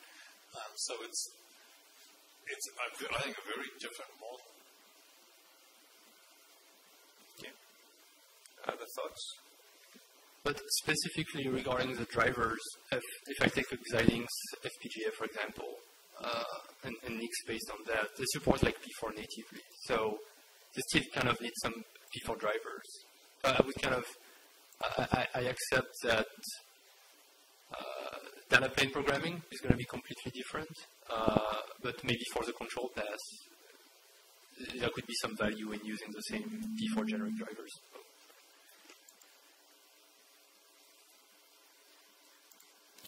remote. Anybody wants to say anything? Um, yeah, I had a comment. So let me raise it up. What is the primary goal here? Is it to introduce P4 programmability into Linux networking, or is it to do that in order to basically configure and manage uh, switch hardware or possibly NIC hardware at some point? I think I think the, the first goal should be uh, I'm sorry, the main goal should be the first one you described, which is have, have a way to introduce P4 programmability and in the, in, in the kernel. obviously, my personal interest is also to have a way to offload that to to hardware. But I guess you can do the first one without doing the other. I still think that the Linux target architecture would be a good way of doing it, independently of whether you try to make it work on the switch or not. Okay, so if it's first case, then I think it's pretty clear that there's going to be, I don't want to say conflict, but obviously some um, evaluation, BPF versus P4. And one of the slides you had, you actually had XDP offloading to a P4 device. That can only happen if the XDP program started as P4, right? Because there's going to be BPF programs we load into XDP that cannot be put into P4 device. But I think there's you can go from P4 to BPF, but it's much harder to go from BPF to P4. Can, can I interject? Uh, hmm? Can I interject? Uh, so I just want to say something. Oh yeah, yeah. So by all means. Tom, Tom. So the the the, the difference with BPF is uh, you can't. So P4 is a generic way of to describe what you do on the data path, without necessarily it being TC or uh, you generate BPF out of P4 as opposed to be the other way around.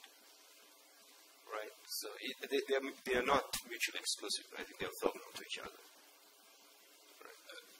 Fair enough. So, so in this slide, there's this um, new apparent uh, entry point, NDO P4.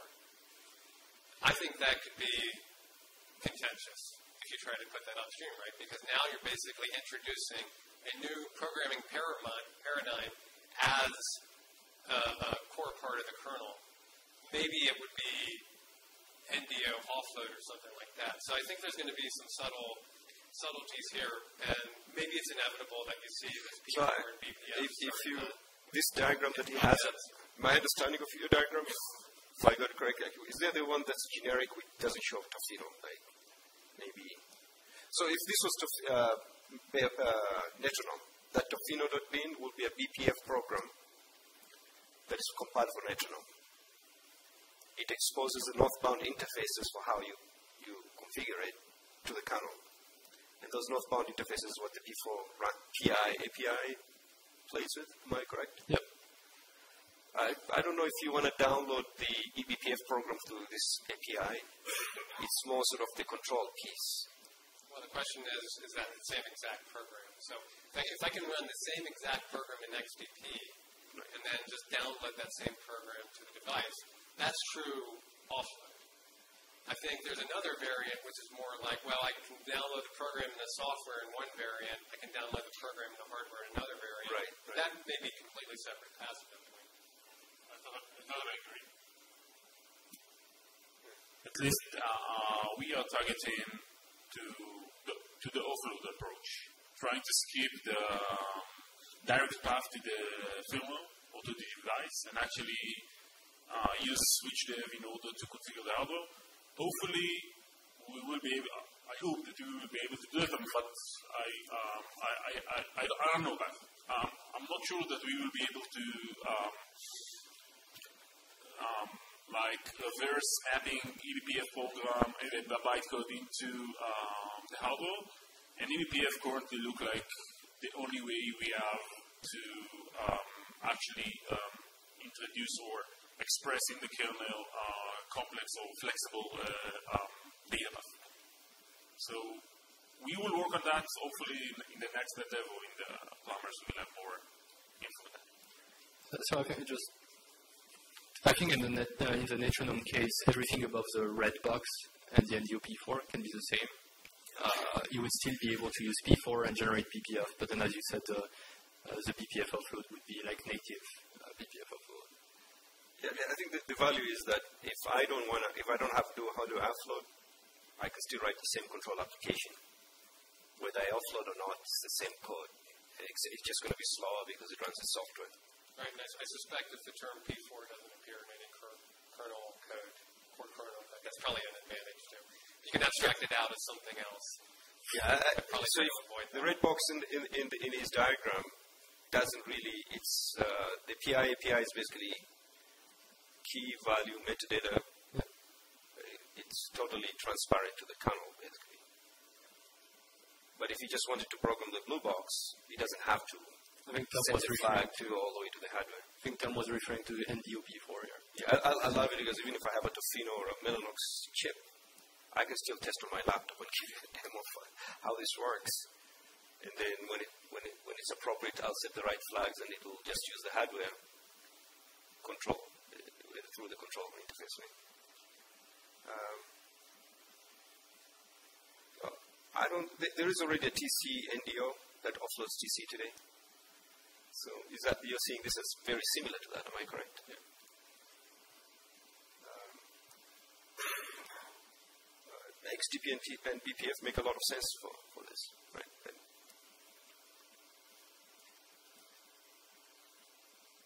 Am I out of time?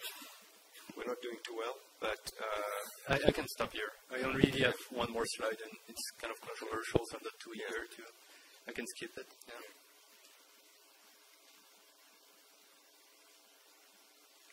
uh, yeah, Lada, maybe you could go next for 30 minutes, and then we take a break, and then come back. We may have to boot off the people at the end of that agenda. Okay. do You want to go next, or you want to go after lunch? You can go next. Okay. Thank you. Okay. So just to, uh, uh, do you have flat slides? This is the classifier. It was supposed to be after, but.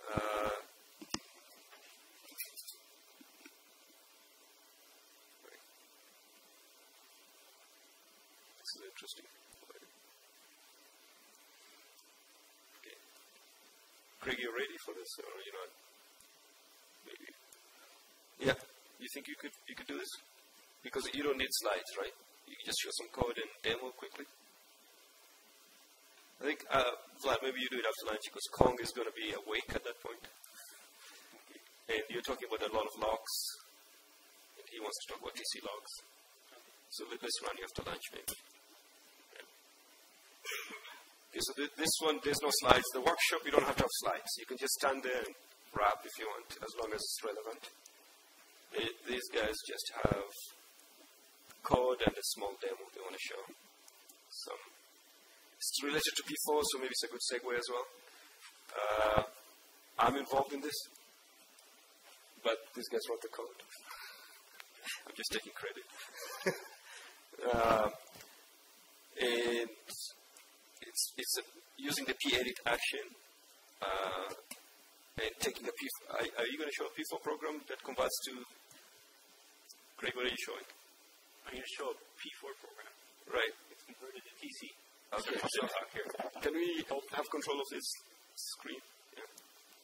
Oh, wait, I got it. Okay.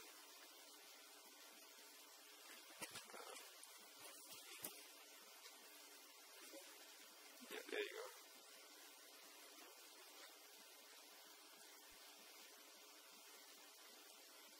There you go.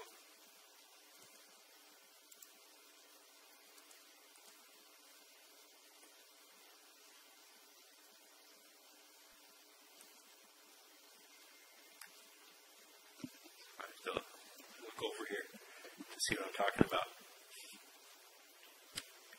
So, uh, as Jamal mentioned, our, our goal is to uh, take P4 code and translate it into a basically a working TC script. So uh, it's a, bit, a little more straightforward than what you guys are doing. But um, so I'm going to start by showing a simple. I can use my mouse. You've tested this, right? Of course. So the funny thing is, actually, we we tested everything, and then my my machine like crashed like ten minutes ago. So I had to try to set everything up. So some of the uh, some of the demo parts may not uh, work perfectly, but um, so anyway, this uh, on uh, my left, uh, there's a this is a simple P4 program.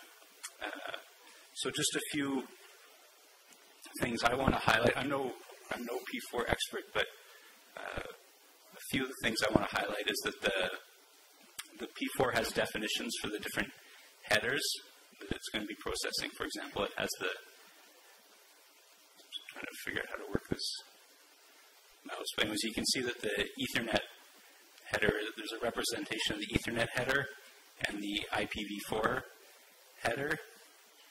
Um, each table specifies, or each of those structures specifies the, the layout of the specific header that we want to deal with. Uh, there's also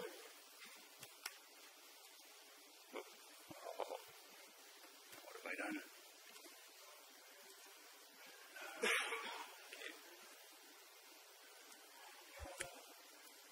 There is also, if I can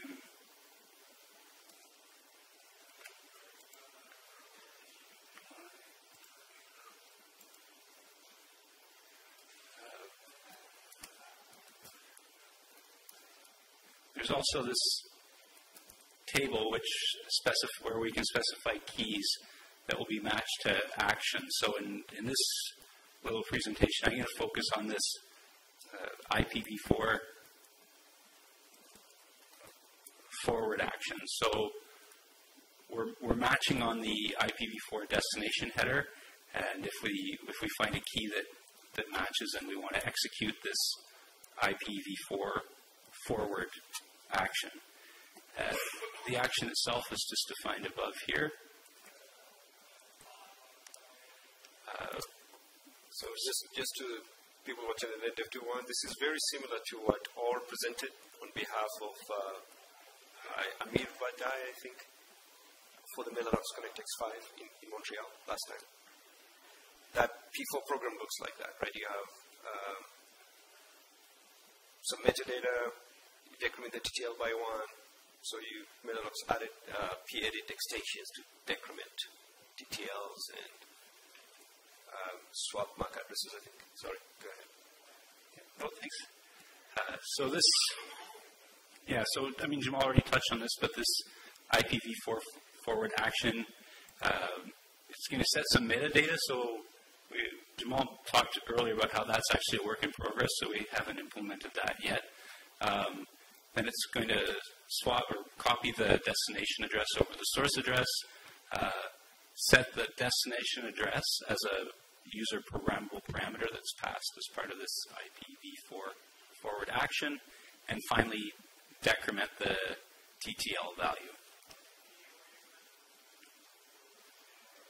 So to convert this to TC, uh, there's two components. There's the there's the key matching component that actually picks out what action we're going to execute, and then there's the actual action itself. So to to do the matching, we're going to use we're converting uh, to the U32 classifier, uh, and the actual packet processing components are implemented using the, the pedit command.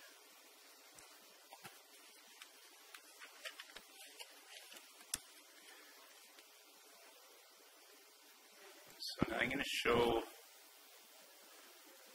use my mouse here.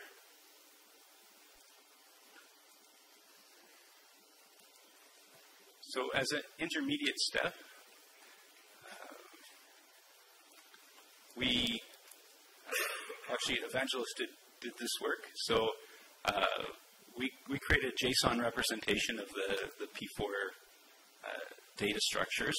So if you look at the screen on it's on my right, um, corresponding to, for example, our IPv4 header. We'll scroll down a bit. So, uh, you have like yeah, four so minutes left. But oh, so maybe five. Are you going to talk as well? Yeah. Okay. So the idea here is this is very different from let's say what these two earlier speakers were talking about. Here we're generating scripts. Take a P4 program, you generate TC scripts, and you only use U32 and pedit. And in some cases it works, in a lot of cases actually. What's missing is the metadata. And U32 is capable of doing all the parsing that's necessary through offset length values. Go, go ahead, sorry. No, thanks. Uh, so anyway, you can see in the, the JSON we, uh, for each um, header type. We have the, the different fields.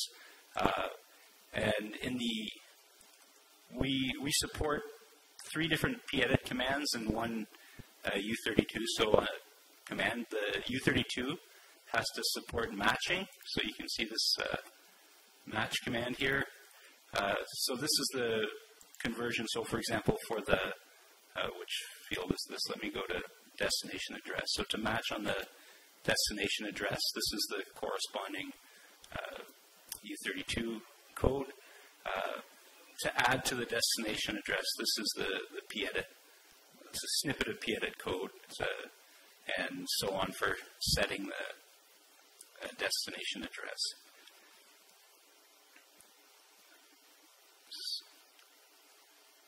Apologies, it's a little tricky to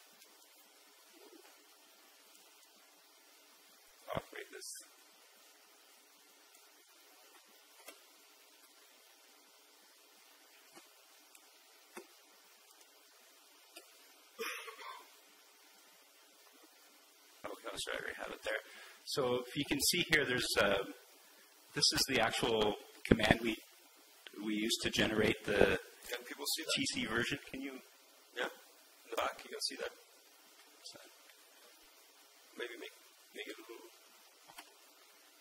Uh, well, I don't want. We don't have much time, so okay. Maybe just explain what it is. Anyway, so it's um, uh, so this is a P4 it's supposed to mimic what a what you do creating a regular TC filter. Uh, so we we add a filter. The filter is this. Uh, the key is this IPv4 LPM, which is the the table from our uh, P4 file. I can. Deleted it.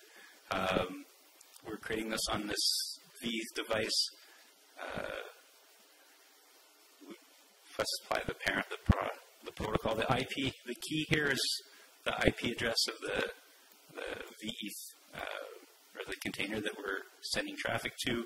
And then the other important part is this IPv4 forward um, component. So that's the actual action, or the P4 action we're deploying. And the port and destination address are the, the parameters that it, that it took.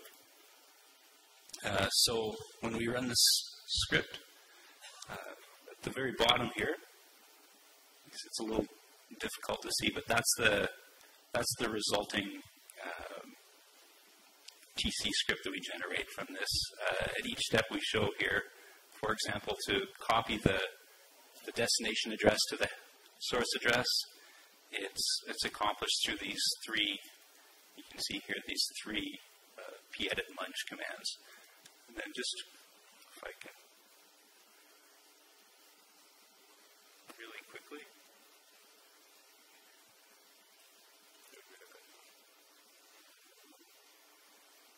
Just to give it demonstration of this in action. Uh, you got like three minutes, maybe three minutes. Yeah, this will be because he, he wants to talk about the UK edit as well. So, uh, give a summary. Anyway, this this little script has just deployed our our rule, and then I'll show you the deployed the deployed rule. This is a little actually easier for you folks to read, I think. Um, so at the, the top here, we see uh, the match is on the, the, IP address that we specified.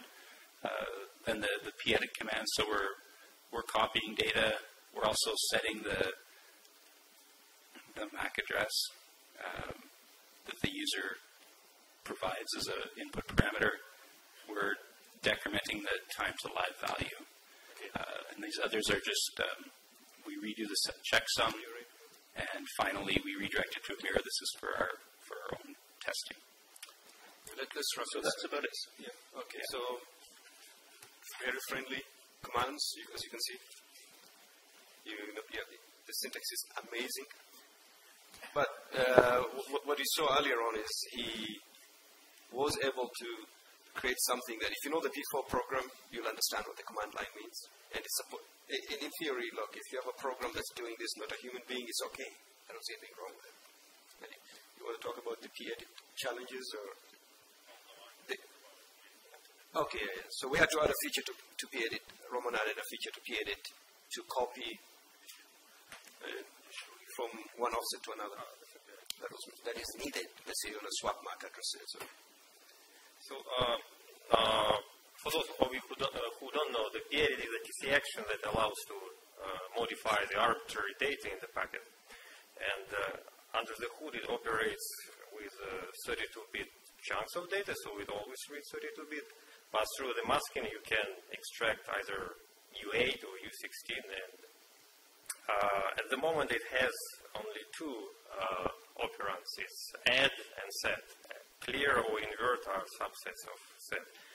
So as part of our work with this P4 uh, compiler, we realized that we need to add a copy command that would basically copy from X to Z, and uh, uh, th th th this is what you can see in uh, uh, in the output of command if it's uh, visible.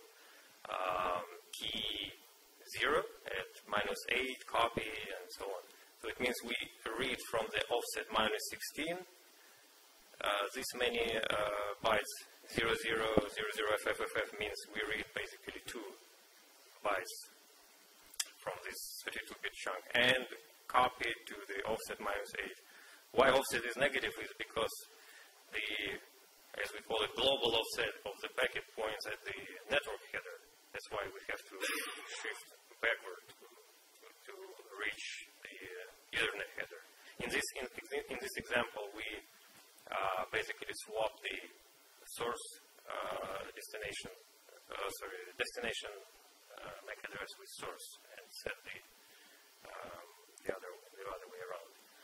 Um, so this is still work in progress and we would like to uh, improve this implementation in such a way that it re more reminds the mem copy which means say from here to where and how many bytes to copy instead of uh, building these cryptic uh, commands filled up with offsets and, uh, and masking. So uh, uh, this is this is basically it.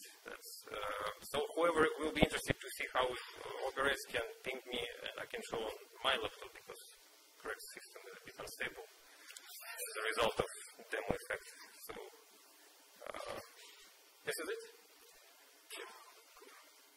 So everybody sees the challenges of this. So what do you think you, you would this would be useful for you as well? So like, can you do offload uh, a copy? Say copy from this offset, you can. So this could be offloaded as well. Okay. Uh, you're planning to send patches at some point. Yes, at some point. Okay. Any questions? Uh, we'll call it a break, uh, but we're behind schedule a little bit. So uh, just be back exactly on time, which is. Thanks, Roman. So back after lunch says uh, 15 minutes before 2, so 13.45, you have 1 hour and 15 minutes break. Be back on time, please, so that, because we're behind schedule a little bit. We're going to get started now. Uh, let's just wait for those people to come in. All right, I'm just handing it to you. Hello. Okay. So my name is Vlad. I'm from Mellanox, and I like to talk about uh, effort which I've been doing since autumn. It's parallelizing TC rules update. So basically, TC already works, and hardware offloading in TC already works. So why do we need it anyway? Because you can configure rules. Every all infrastructure is there. So why? Who needs millions of rules? Uh, I work in team which, yeah. You see, there are people who need this kind of stuff. So my team, eh, we providing hardware offloads for Open vSwitch, and it turns out there are a lot of people like Jamal who wants to be able to configure millions of rules, and eh, they want to do it fast. They don't want to wait minutes for their rules to, to be provisioned to hardware. So I think uh, every one of you knows what is OpenVSwitch. It's a soft switch running with hypervisor or control stack for Silicon. It's directly copied from OpenVSwitch website. And uh, in case of our ConnectX card for Mellanox, and uh, when it does uh, hardware offloads through kernel, we leverage TC kernel infrastructure to do this. And uh, OpenVSwitch itself, it's multi-threaded application. It can use any number of cores we give to it, and uh, especially with uh, DPDK. And with, but we want to do this with kernel. And uh, the problem is that uh, TC infrastructure is completely locked by one big lock, RTNL lock. And uh, so even if you provide 100 threads for OpenVSwitch, it will still be stuck waiting for RTNL lock. And by Amdahl's law, you know, if you have 10% of your uh, time spent on some critical section, you still will not be able to leverage parallelism for more than, more than 10 threads, for example. And I think in this case, it's even more. It's like 30% of time is spent in kernel under RTNL locks. So, you see, so you can have a bunch of handler threads, revalidator threads, but then you have to go through the kernel and RTNL mutex ruining everything for you. So kernel TC architecture.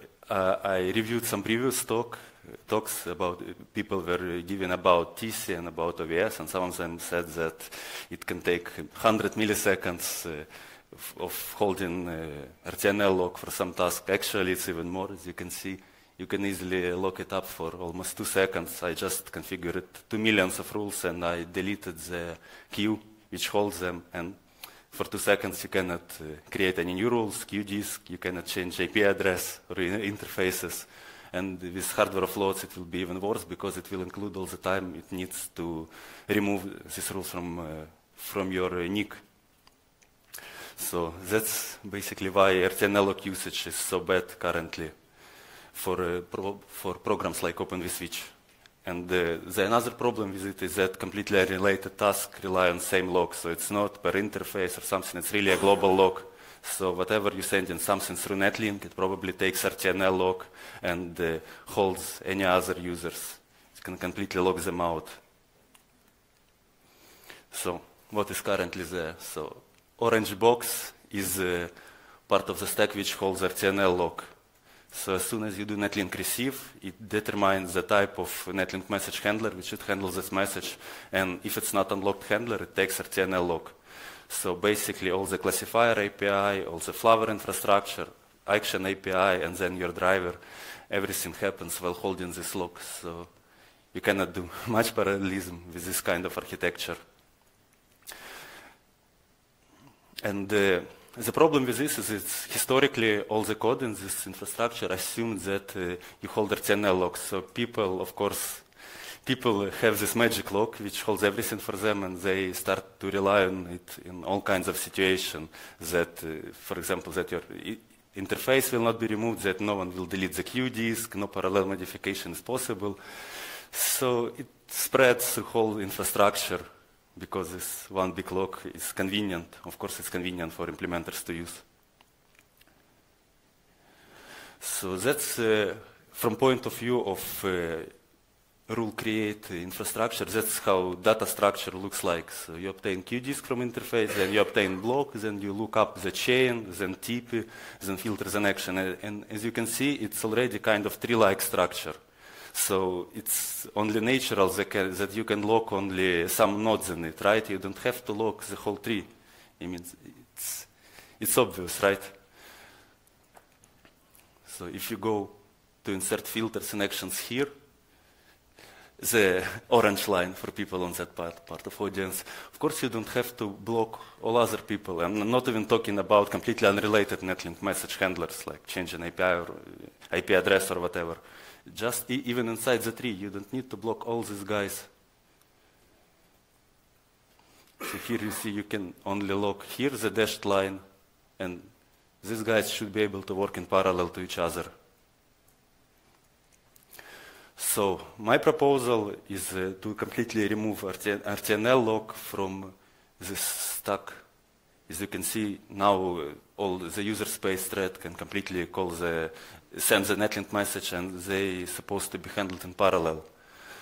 And uh, on the right, you can see the data structure picture. It's shortened one, not the original, but it describes some changes that I made. So it's not some fancy algorithm which magically does it for you. It's just a lot of small changes in all infrastructure. Like some, sometimes I had to add the reference counter. Sometimes reference counter was already there, but it was not actually used. Uh, it's used, for example, for a block. Block can be shared between QDisc, so you, you have the reference uh, counter for a QDisc.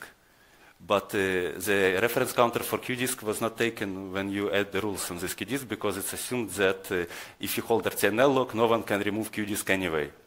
So you just incre increment the counter if, if you add additional user for QDisc, but not when you work with QDisc. So I had to change the logic which works with the QDisc. And sometimes there were no, no reference counting at all, so I had to add reference counters. And of course, I had to add locks, which lock uh, like linked list, IDRs, whatever structures which are not uh, safe to modify in parallel. It's a bunch of small changes, and it adds up like 60 patches already. Uh, I will talk about uh, patch status afterwards. I think I'm getting ahead of myself. So it took some code refactoring, some additions, and uh, okay, development status. And uh, with these additions, where we stand now, some of it is already upstreamed, uh, some of it is pending on code review. Uh, and uh, what I did is, of course, I changed uh, classifier API and action API to allow this unlocked access and all actions were changed uh, to also allow unlocked access, but not all filters, not all classifiers in QDisc because they're very complex in implementation. So I, of course, don't want to go through all possible classifiers and modify them. But I did it for classifiers which is used by OVS, Open vSwitch, in case of hardware offloads, which is Flower classifier and Ingress QDisc. And the way I changed interface, I added flex field, flex field, and you can set a flag that this classifier or QDisc doesn't require caller to hold RTNL lock. Okay, so why are we doing that in first place? Because we want to leverage parallelism to get better performance. So in, for single-threaded performance case, uh, some patches were already submitted before. I think some of them by my colleagues, like for example, they changed some linked list, uh, which meant you have linear search to IDR, which is tree-like structure, so you have logarithmic search. So we already improved the single-threaded case, and uh, there is not much you know you can do with single-thread and comparing to current CPUs, which have tens of cores. So benchmark which I did is very simple. I did not want to hardcode anything. It's just a bunch of uh, bunch of batch files for TC, and I did it on my CPU. It's middle of the line CPU, 12 cores. Again, no fancy hardware, no hard-coded stuff. And what I do is just I run with Xargs, multiple instances of TC, and in each TC has its own bunch files and I uh, measure how much time does it take to insert uh, millions of rules and delete millions of rules, you know, to expose any kind of uh, linear searches or something which does not scale well with number of number of rules inserted. So I'm insert 2.4 million of rules. Why is this number? Because I 12 cores and it's easy to divide to 4 by 12. And if you have, if your rule count is too small, you will probably measure just TC start, startup time and uh, time it takes for Xargs to run multiple instances of TC. So it has to be some reasonable number of flows, but also not too, too many because you can't even dump them to count. There was a long-standing bug, which meant that uh, dumping flower classifiers is uh, quadratic in complexity. So if you have, for example, 5 million rules, today I left uh, my setup overnight to just try, try, to count 5 million rules on Flower, and it wasn't finished by morning. I already submitted a patch to fix this, but it's just funny example of how many parts of this infrastructure currently are not optimized for this kind of load, loads. Uh, so use cases which I tested, so it's not a marketing presentation, so I'm not only just, you know, testing rule insertion to standalone interfaces and telling you that we have, that we have absolute scalability. I test some very worst possible use case when I insert to same filters to same uh, TP instance, which basically means that, uh, okay, let's go to my previous slide. So worst use case is when we insert to same filters and actions. Let me show you. these guys. Uh, yeah. Unfortunately, or that one, Yeah. supposedly. So this is the worst case scenario. And some better scenarios is when uh, I'm inserting rules to standalone chains, which means you only share the first node, and as soon as you looked up the chain, you insert a different uh, classifier instance. Some uh, rule type, again, it's five tuple plus source and destination MAC address. And uh, for uh, stand, standalone chains, uh, each file has different chain index, and when I test the worst case, it all goes to same chain. And again, shared action which is when I provide the same index for action, which means that only first rule creates the action, all other rules share this action. It's uh, kind of just a way to test which uh, part consumes more CPU, action code or rule creation code. So worst case scenario, when we insert into very same TP instance and we have to increment the very same reference counters, very, take very same locks, uh, it's uh, one, one instance of TC, 3, 6, and 12. As you can see, even wi- without uh, removing RTNL lock, we still get some improves in three instances. And why? Because obviously some part of uh, TC is user space, and when you run it at parallel, you parallelize the user space part, but not kernel space part. And that's why we see that uh, vanilla kernel does not improve performance with number of uh, cores. Because as soon as you parallelize the user space part, kernel space part cannot be parallelized. And in case the the blue bar is unlocked kernel insertion and dark green is unlocked kernel deletion. And as you can see, it continues to scale with number of cores used.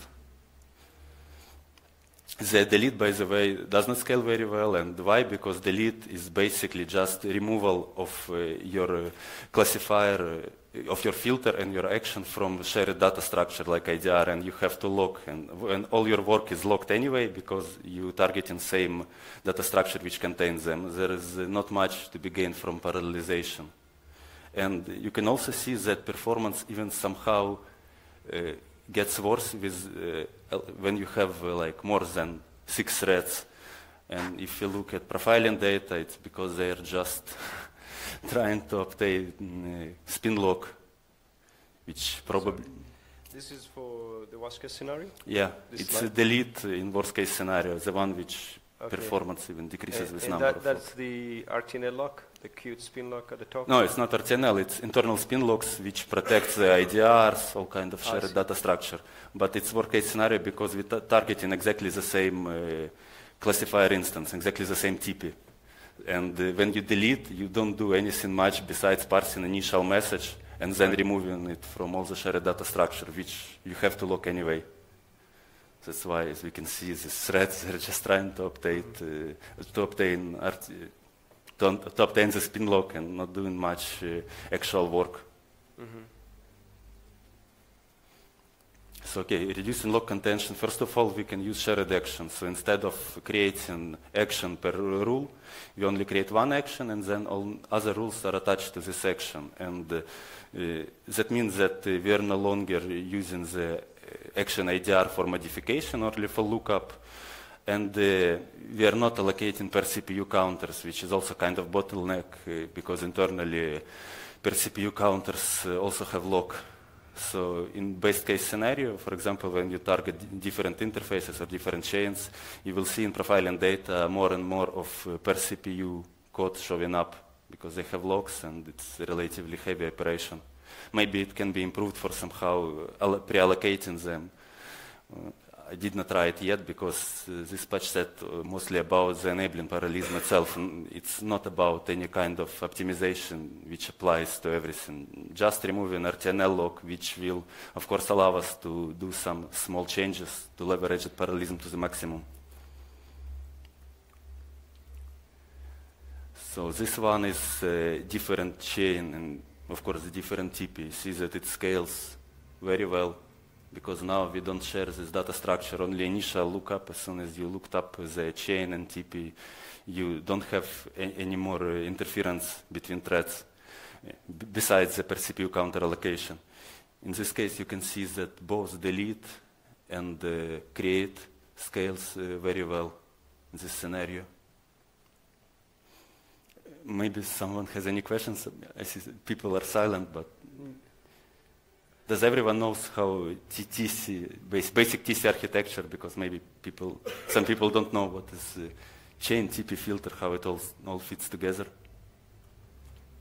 Yes, I, I have a question. So you have 2.4 million rules. Total, yeah. In the 12th thread, which are actually is 12 instances of TC, so 12 processes are running.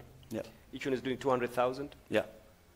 So is it possible that maybe one of them finishes ahead of time? And uh, Sure. what, what's your um, jitter? Is there a jitter in your results? Like there's uh, Come again? jitter? Like Jitter? it- yeah. Do you get consistent results all the time? Like Uh, how many times n- did you Not very consistent. 10 percent difference. Okay, I wouldn't not- call not it consistent. Probably if I had coded somehow in kernel, I can get much more consistent result, but I want, wanted to have tests which are completely reproducible by anyone. You know, no magic hard coded stuff which no one can verify for themselves. Just user space TC run in parallel with Xargs and batch files. But the di- difference is very big. I mean, 10% jitter will not give you that much difference. It's like Yeah. uh, 3.5 times. Okay, it's for combining two approaches. It's both using sharing ac- shared actions, so only one action is created, and targets different chains. So it's, oops, sorry, still 500, less than a million a second? let's compare. F- For delete, yes, but for insert, you can see that we have much better results for rules insertion. So I get like, like yeah, five mi- half a million per second. Yeah. Um, Cong, you have any questions? Remote? Mike, use the mic, please. Uh, Mike, Mike, where's Mike?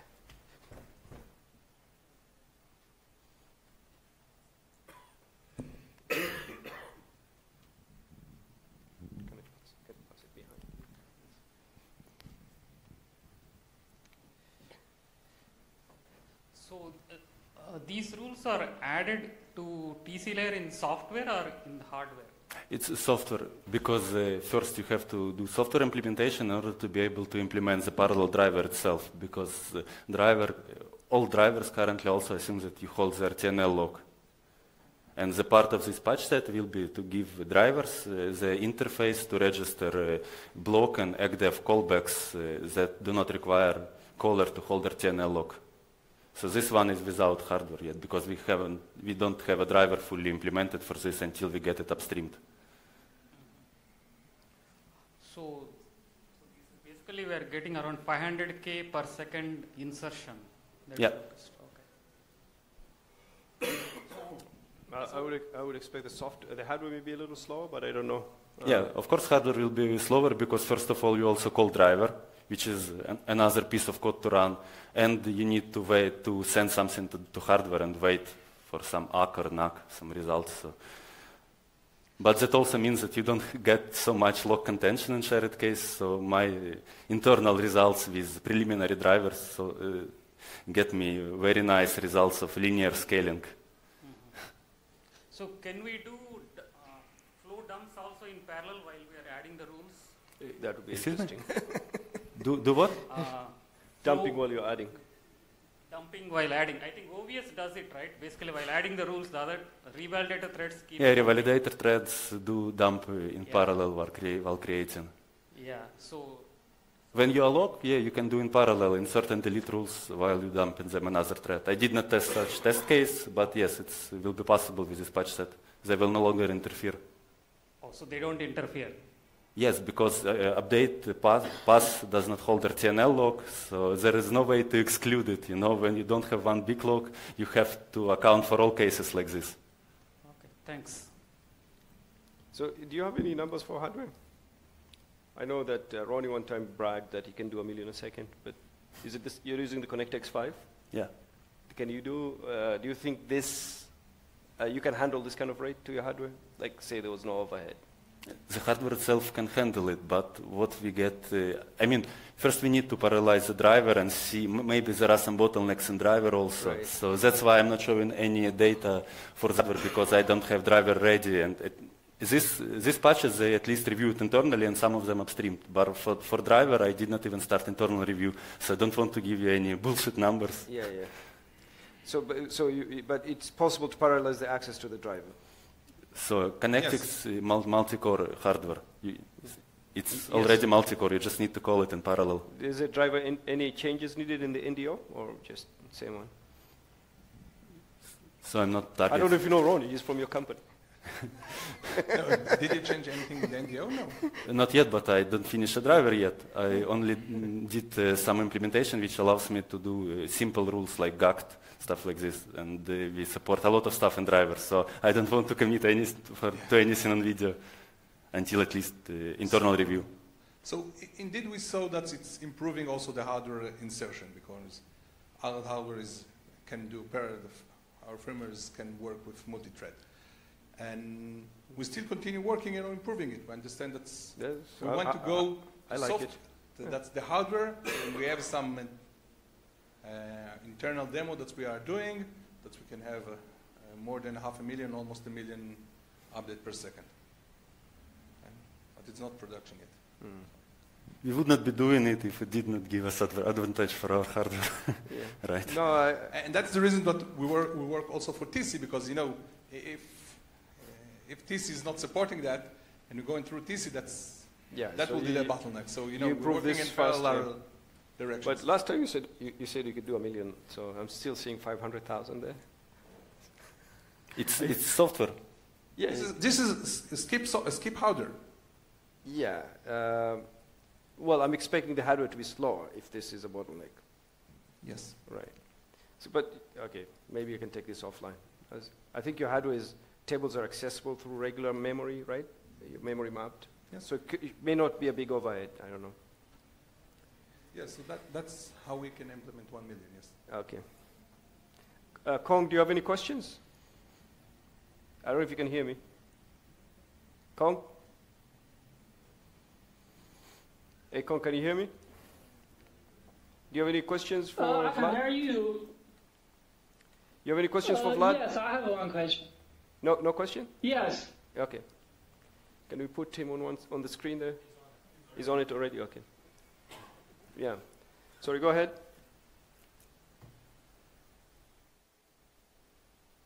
So did he say he had a question, or I, I didn't hear that? Uh, sorry. Uh, can you hear me? Yeah, you can hear you fine. Yeah, the room we can hear you in the room here. Okay, uh, my question is actually it's not clear what is the end goal of uh, uh, your uh, uh, whole patch set because currently you just uh, you still keep the RTNL lock, but your end goal is to remove the RTNL lock from the update path. So if if you totally goes to let's say lockless or you you introduce you you just break down the RTNL lock to some other log, so that's com- completely different. So I wonder what is the end goal of this. The end goal is to speed up the. He's asking you what your end goal eventually is, just to remove the RTNL lock or to, to, allow parallel execution of TC subsystems. So current bot, most prominent bottleneck is uh, RTNL lock, of course. But as soon as we remove it and we see some other obvious, obvious uh, bottlenecks, we will work on them as well. So yeah, end result is to be able to go to our driver in parallel, mm-hmm. which means removing this lock from CLS API, Action API, and uh, Flower, and all actions. Yeah, okay if you remember, I think we presented the last NetDev that the performance of TC was around less than 100 or around 100 uh, 100k per second. per second. Yeah. And we understand that is not enough. So that's we try to speed it out, speed it out up. And remember that you have many ports. We're talking about a, uh, a switch there. So you have like 30, 64 va- uh, virtual function. So not all of them adding rules to the same entity all the time to the same time. Even that's all of them adding five tuple, you do have 64 virtual functions. There each of them is a different netdev. So it's not the same table all the time. Mm-hmm. So that's the reason we can we can scale now uh, for higher performance For So, so the end goal is to speed up the access to eventually update the hardware rules, and the RTNL lock is just on the way, and you have to remove it now. Yes. Did that satisfy you, Cong? Uh, yes, but is what kind of the lock will you introduce after the RTNL lock is still not clear? Let's say if you put the lock, a spin lock or some whatever lock on the device level, or maybe on a uh, uh, filter level, so that's still different. I did not understand. Yeah, no, he's saying basically, uh, could you get this without removing the RTNL? I think that's the summary of it. N- Not really, because RTNL lock, uh, it's in my presentation, it take, it's taken very early in TC stack. Can, can you show that profile again? I don't know if we can, you can show it. It's not profile, it's without RTNL. Uh, The profile is without RTNL after the RTNL has been removed? Yeah. Okay. So you don't have one that. The problem before. with profiling, RT I think I already explained to you uh, privately, the problem with profiling RTNL lock is that sampling Ah. profiler, like perf, he only profile, it only profiles on CPU uh, tasks. So if your task is sleeping while waiting for R- RTNL lock to be released, it will not show up in sampling profiling. So that's uh, the problematic part of profiling uh, sleeping locks. Yeah. You know what? Because we only have like 30 mi- uh, 40 minutes left, so maybe that we take this offline a little bit. Sure. So because Cong has to, he's going next. Uh, yeah. Thanks. Yeah. Thank you. We can, Thank talk, we can talk after that. yeah. All right, Cong, uh, you can you can go next. you we we can see you here.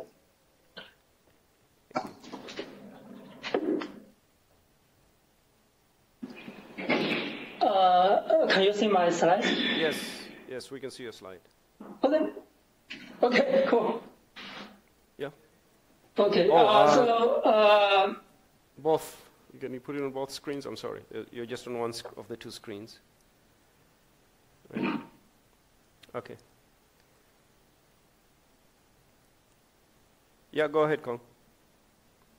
uh, okay. Uh, uh, my name is Cong Wang, and uh, uh, I'm a software engineer in Twitter kernel team. So uh, I'm very happy to uh, bring the discussion about the locking in TCP hierarchy uh, today. So uh, you are very welcome to interrupt me. The only concern is I don't have enough time. So so let's see. No, it's okay. So, we, we, uh, this is uh, we can run into the break. That's okay. The next thing that comes is a break, so we can chew into the little break.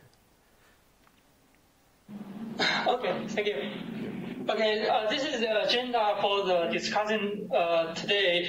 So uh, first, I'm going to review the current looking in the whole TC hierarchy, the QDISC, the filters, the actions. So, and uh, after that, I'm going to take a, a quick review for the uh, RCU uh, completeness in the fast path. And after that, I'm going to discuss uh, the current uh, lockless QDISC and the po- potentially truly lockless QDISC in uh, uh, uh, TC. And, all, and uh, at last, I'm going to bring up the TCQ mapping with the TCQ disk. So let's see.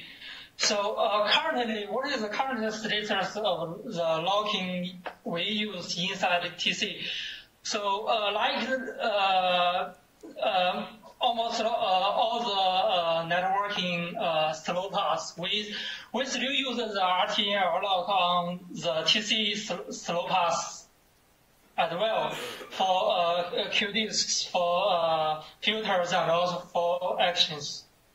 So there's uh, nothing surprise here. But uh, for the fast path, actually, mostly we are already goes to the uh, RCU read lock. So uh, probably except for the uh, uh, TC actions. So I will talk about this later. And uh, for TC, for TC, uh, for QDisc actually it's very special because for uh, for the queuing, we still have to enqueue the packets and dequeue the packets on the bus pass, which means they are essentially still a write operation. So s- means we still have to think the right operations, so we can't just rely on the RCU uh, read lock, obviously. So that's why we still currently hold uh, some spin lock on the fast path. And for this spin lock, we, we always take the, the this spin lock from the root QDisc because uh, QDisc like the HTB QDisc is classful, so it's a hierarchical, so it has multiple la- uh, layers. So the root here actually is we always log from the root, and it's uh, definitely a spin lock. And for the uh, that's for the uh, uh, transmission side. For the ingress side, actually, it's pretty simple because we essentially have no queues on the uh, ingress side. We only have probably one or two kind of uh, queue on the ingress side, and they both are queueless. So that's why we could uh, uh, achieve lockless on the fast files for the ingress side. So that part is pretty simple. So we will see. So let's first take a look at the transmission side. On the transmission side, so there are basically two parts. So the the first part actually is uh, on the in-queue side. That that is uh, well uh, sometimes happen. Um, uh, that is happened on the process context. So and for that part, actually, we always take the root spin lock as I mentioned when we find the spin lock, uh, when we find the QDisc, and we always acquire the RCU read lock inside the dev queue XMIT.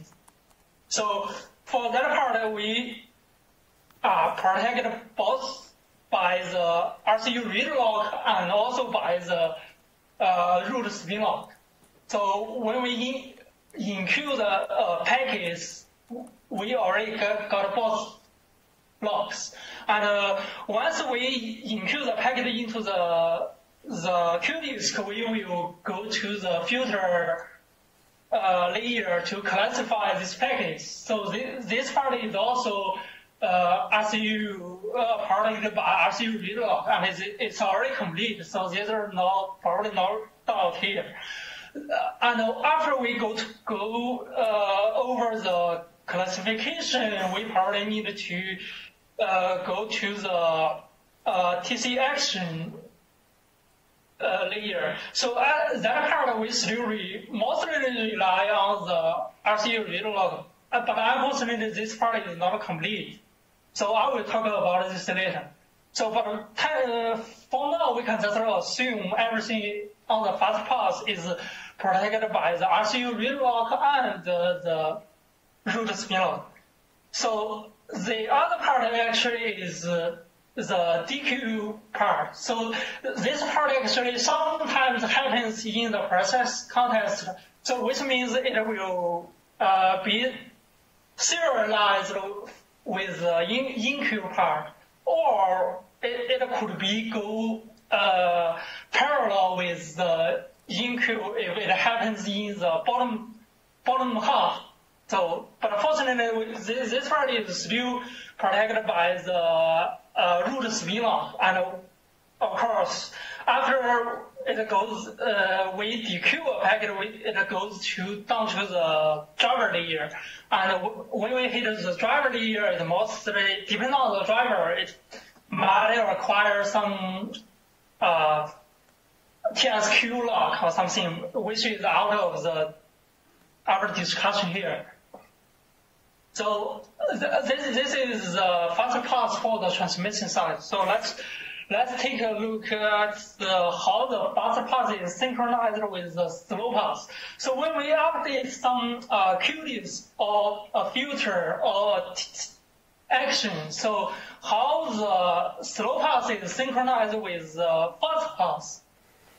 So the most important uh, thing actually is the QDisc. The QDisc is uh, uh, very weird currently because partly how for historical reasons is uh, it relies on some uh, uh, QDisc sleeping pointer update because, because for the QDisc layer actually when we update the QDisc we actually uh, install a new QDisc for the QDisc sleeping but uh, it, it doesn't affect the one we use for the first pass which is non-sleeping so after the uh, we install that QDisc for the sleeping, we will do a flip on the whole device level to swap the pointer to make the new disk, new QDisc installed on the fast path as well. So because of this flip, actually we have a chance to synchronize with the fast path A the whole device is flipped, so that literally means the, the active QDisc is also deactivated. And also for the ingress side, actually is synchronized by the synchronized net API. So this, this is very different. Because if we compare this with the filter or the action, actually they are perfectly uh, uh, uh, protected by, with the traditional RCU lock because we rely on the uh, synchronized RCU or just a core RCU callback to synchronize with the fast path. The the QDisc layer is completely different, so that that's why I want to uh, highlight this part because I I think we can possibly remove totally remove the QDisc sleeping and switch to the uh, RCU API like the rest of the uh, uh, TC part, the filters action. So let's see a summary of this. I, I get this chart just to get a quick summary here. So for the for the as you can see the TC the QDisc slow path is very weird. It's, it operates on the uh, different pointer and rely on the device flip to sync with the fast path. And for the filter and action layer, actually they, they are pretty normal, like the rest of the uh, RCU users. We sync either with uh, synchronized RCU or in this case actually is uh, RCU callback. And for uh, the other action, uh, exception actually is the standalone TC action, the shared TC action. They are different because we don't retrieve the action from the uh, you know, from the device or the filters on the device, we actually retrieve the action from some per net, net namespace data structure. So that, that is currently still protected by the RTNL lock. So, but, so if we take, if they are still synchronized with the traditional RCU API. So there's still nothing in surprise here. So if we go back to the ingress side, actually it's pretty simple. So because this is, this is the traditional way how we uh, uh, get a packet uh, from the device to the uh, uh, networking stack. Probably there's some difference when when the device uses the NAPI API, but let's keep the traditional one. The the packet is retrieved uh, from the uh, from the device driver and will be put into some uh, per CPU queue, which is some input packet queue, and after that it will uh, uh, retrieved by the um, net RX action in the bottom half. From from that, actually, it will start entering the uh, whole the networking stack and uh, uh, immediately at the entrance actually it will hit the ingress queue disk. But uh, again, we, we don't have any queue here. So the call path will just go straight forward uh, up to the uh, application layer. So there is no queue, there is no de- decode here. So it's very simple. So there is no, no log, literally. So uh, let's come back to the uh, RCU part. Let's get a review to see how, how much we can go with the uh, RCU completeness. So the, the QDisc is definitely a very uh, exceptional because essentially it has to use spin lock because it's a, I said, it's a write operation.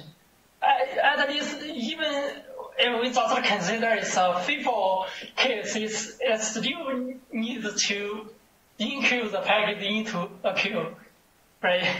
So this part is very hard unless we, we decide to go to some lockless queue algorithm. I will talk about this later. For the filter actually, we are very good. Uh, it's already uh, RCU completed. I have no, uh, no doubt on, on the filter layer. For the action layer, actually, I have to repeat that actually the copy is missing. So currently, we, without this copy, actually, when we update uh, TC action, actually the reader could could read some inconsistent updates if we the reader goes parallel with the writer. So this is not good. Uh, so far there is no bug report, but uh, but uh, probably because this risk condition is uh, very hard to hit, not because it doesn't exist. So this, as, as obviously, RCU has three parts. Read, copy, update. The copy is very important and it's missing. So, yeah. uh, so, uh, uh, yeah. quick question. So, I, I didn't quite follow Sure. the copy missing there. I know you, you tried to explain, but I, I wasn't wasn't clear. Like, what level Okay. of copy from the RCU copy? Copying what? Uh, uh, copy is uh, copy means actually when we uh, update the the the shared data structure, we need to make a copy according to the RCU rule, and then use that copy to replace the existing Yeah. shared one. Yeah, but if, if the copy is missing, that means the update is uh, updating the shared one, which means the reader is could still see a partial update. Okay, and do you see this as being generic, like at Act API level or per, per action? Yeah, it's, it's generic, yes. Okay. All right. Yes, and it's very important because for some uh, partial update, it could be very problematic. So it depends on the implementation. Okay. Yeah. Yeah, so the underground actually is obviously we need to make the RCU API consistent. So for the TC actions, so that means the, the spin lock could uh, be totally gone because we rely on the uh, RTNL log to sync for the slow path. So there is no point for the spin lock to exist for TC actions. So yeah. So, uh, as you probably noticed, there is already uh, uh, lockless QDisc, which is, you know, the pfifo_fast. But actually, it's not. Actually, that's not true. It's not lockless. There is there is still some lock. It's just a ring buffer. I think it's just for advertising purpose. It's it's very confusing. It's a ring buffer, and this ring buffer is not locked. There are locks. The lock, there are two locks actually.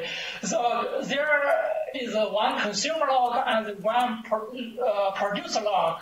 The, com- the consumer log protects concurrent con- consumers, and the the producer log protects the concurrent producers. So we still have lock.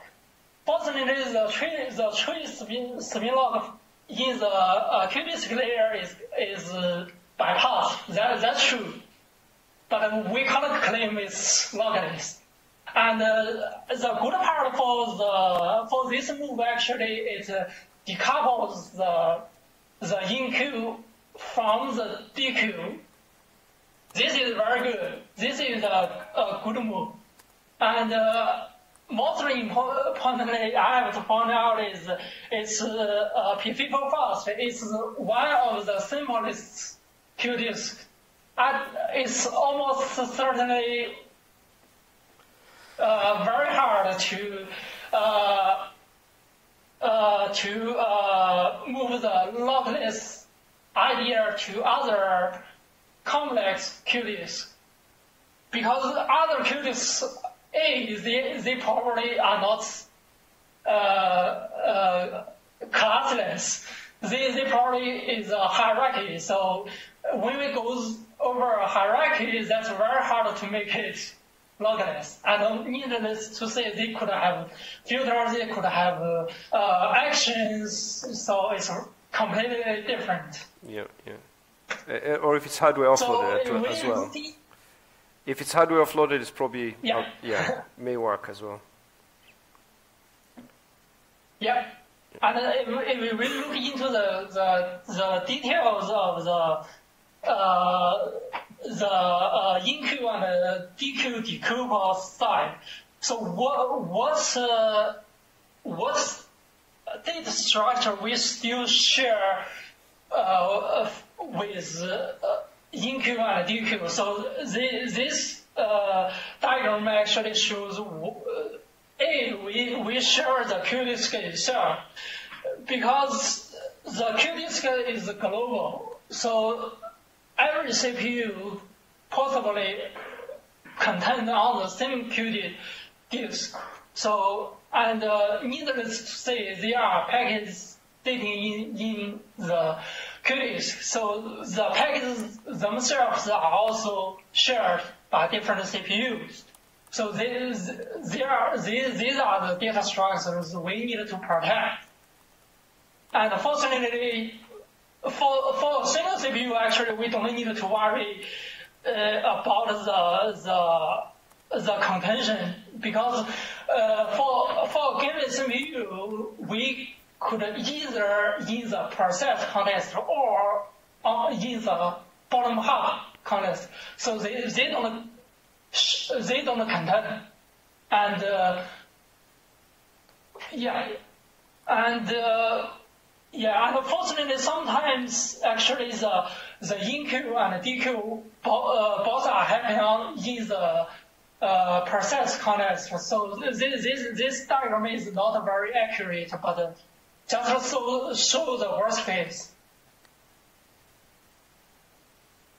Actually, I think it is possible to go lockless for the for a FIFO case because it's the simplest one. But uh, again, I want to point out is essentially it's very hard because we still need to sync the enqueue with dequeue and uh, also uh, a complex QDisc could be classful and hierarchical. So you need to think about other case, probably you need to think about how we uh, uh, implement a tree structure locally, which is essentially very hard. And of course, it doesn't need to be a, a tree structure. It could be a multiple queue structure, depending on the implementation. So it's still very difficult to think with multiple queues. For the uh, FIFO case, actually, I do have some idea because you, as you probably realize, there is a, uh, already a locally linked list in the kernel uh, uh, code base. For unfortunately, that's that one is uh, the order is is completely different. That is the last in first out. It's a singly linked list. So everything, every operation is happening on the head. So that means it's lastly in first out, but we want firstly in first out, for, at least for discussion. And also we want to uh, limit the queue size. Definitely we don't want to go to, uh, uh, we, don't want the, the, the queue size go to infinity. right?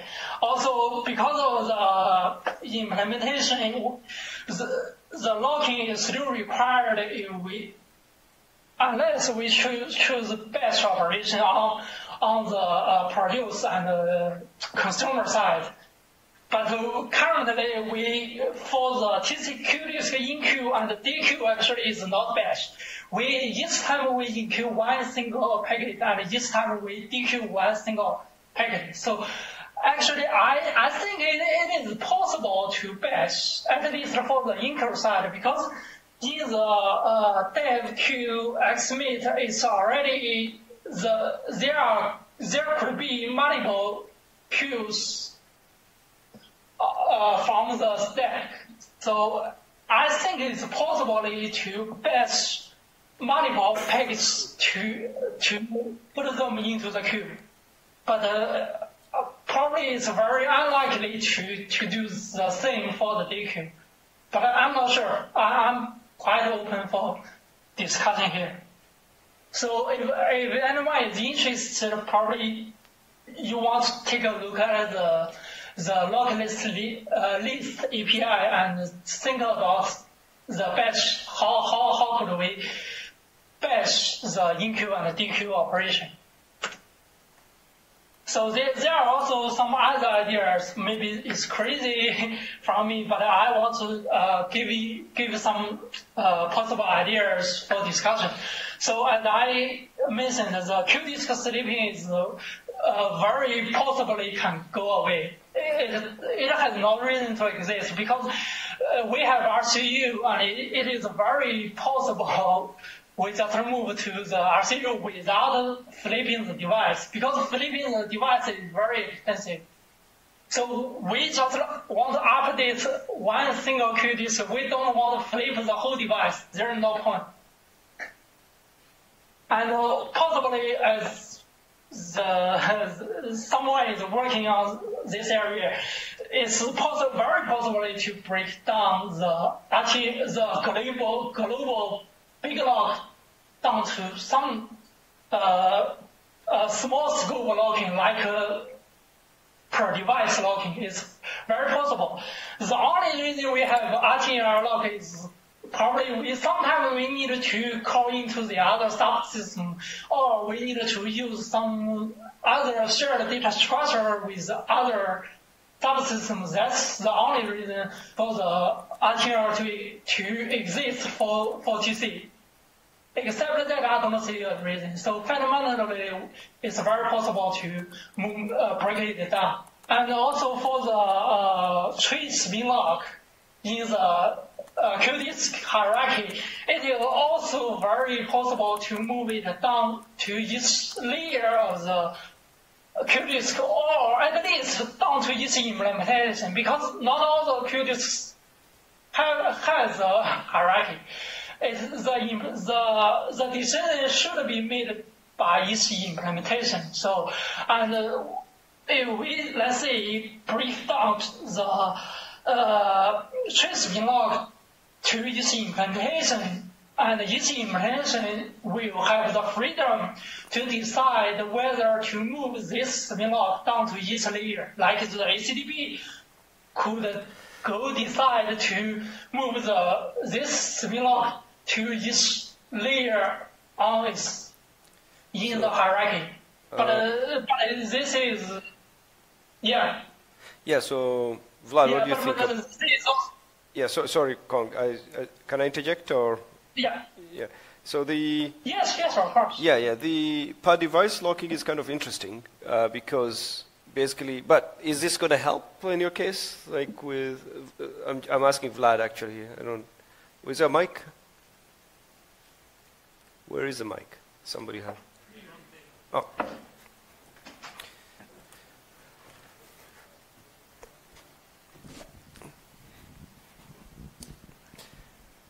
Yeah. Uh, for the case of dumping or inserting millions of rules per second, what is your view on what Cong is saying? Uh, sure, breaking down RTNL log to per device locking will help, but removing it completely is even better.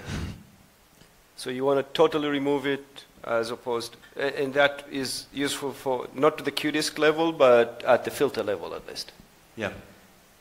Because the problem with per device locking is uh, it's Uh, nice. I don't think that is possible.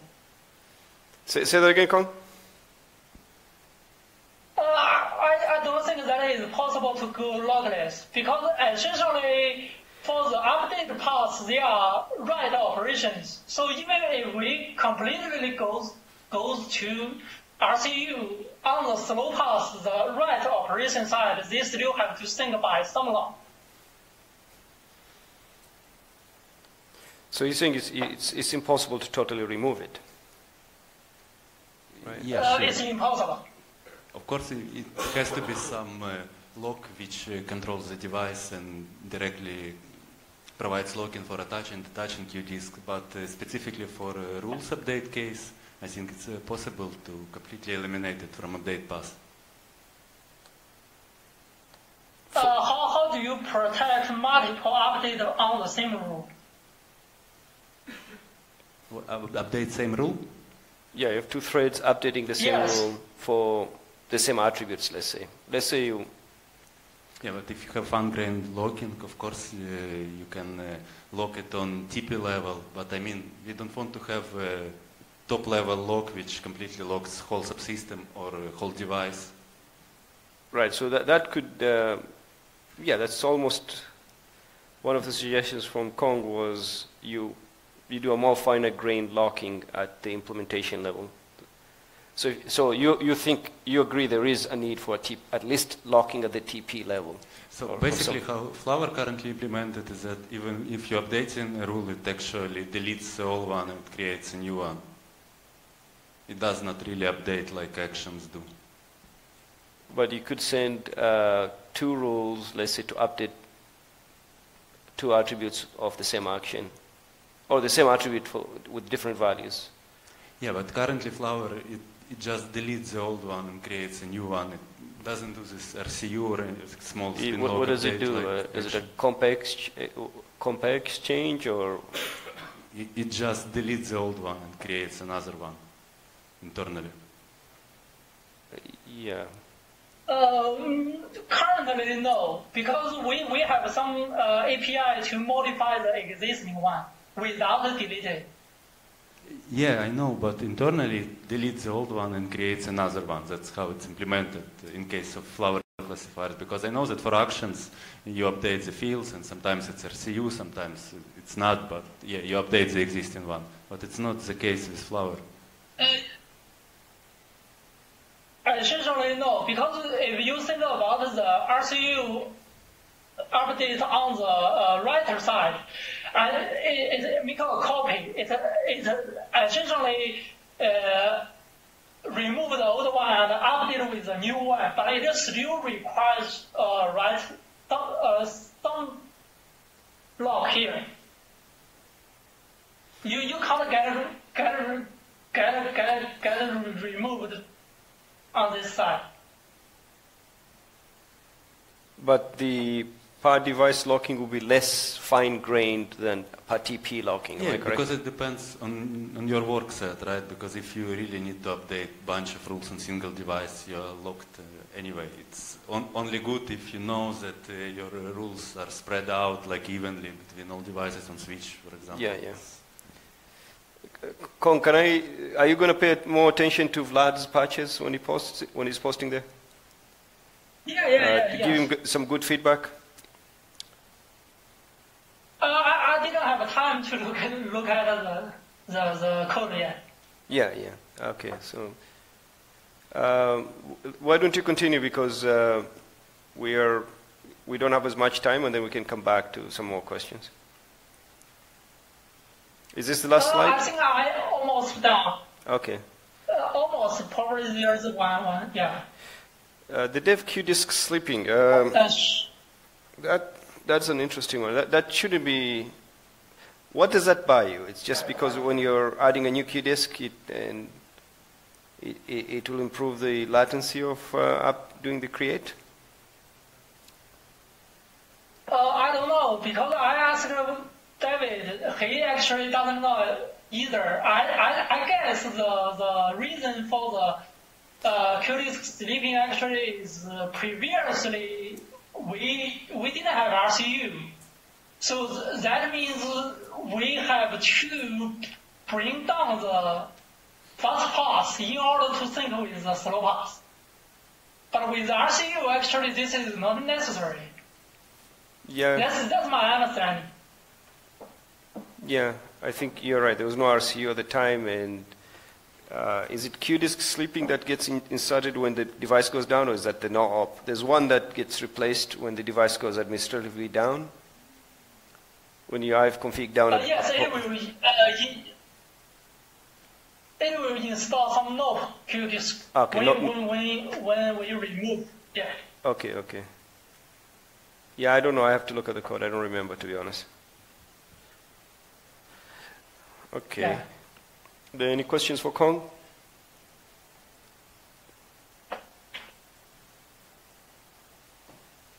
Well,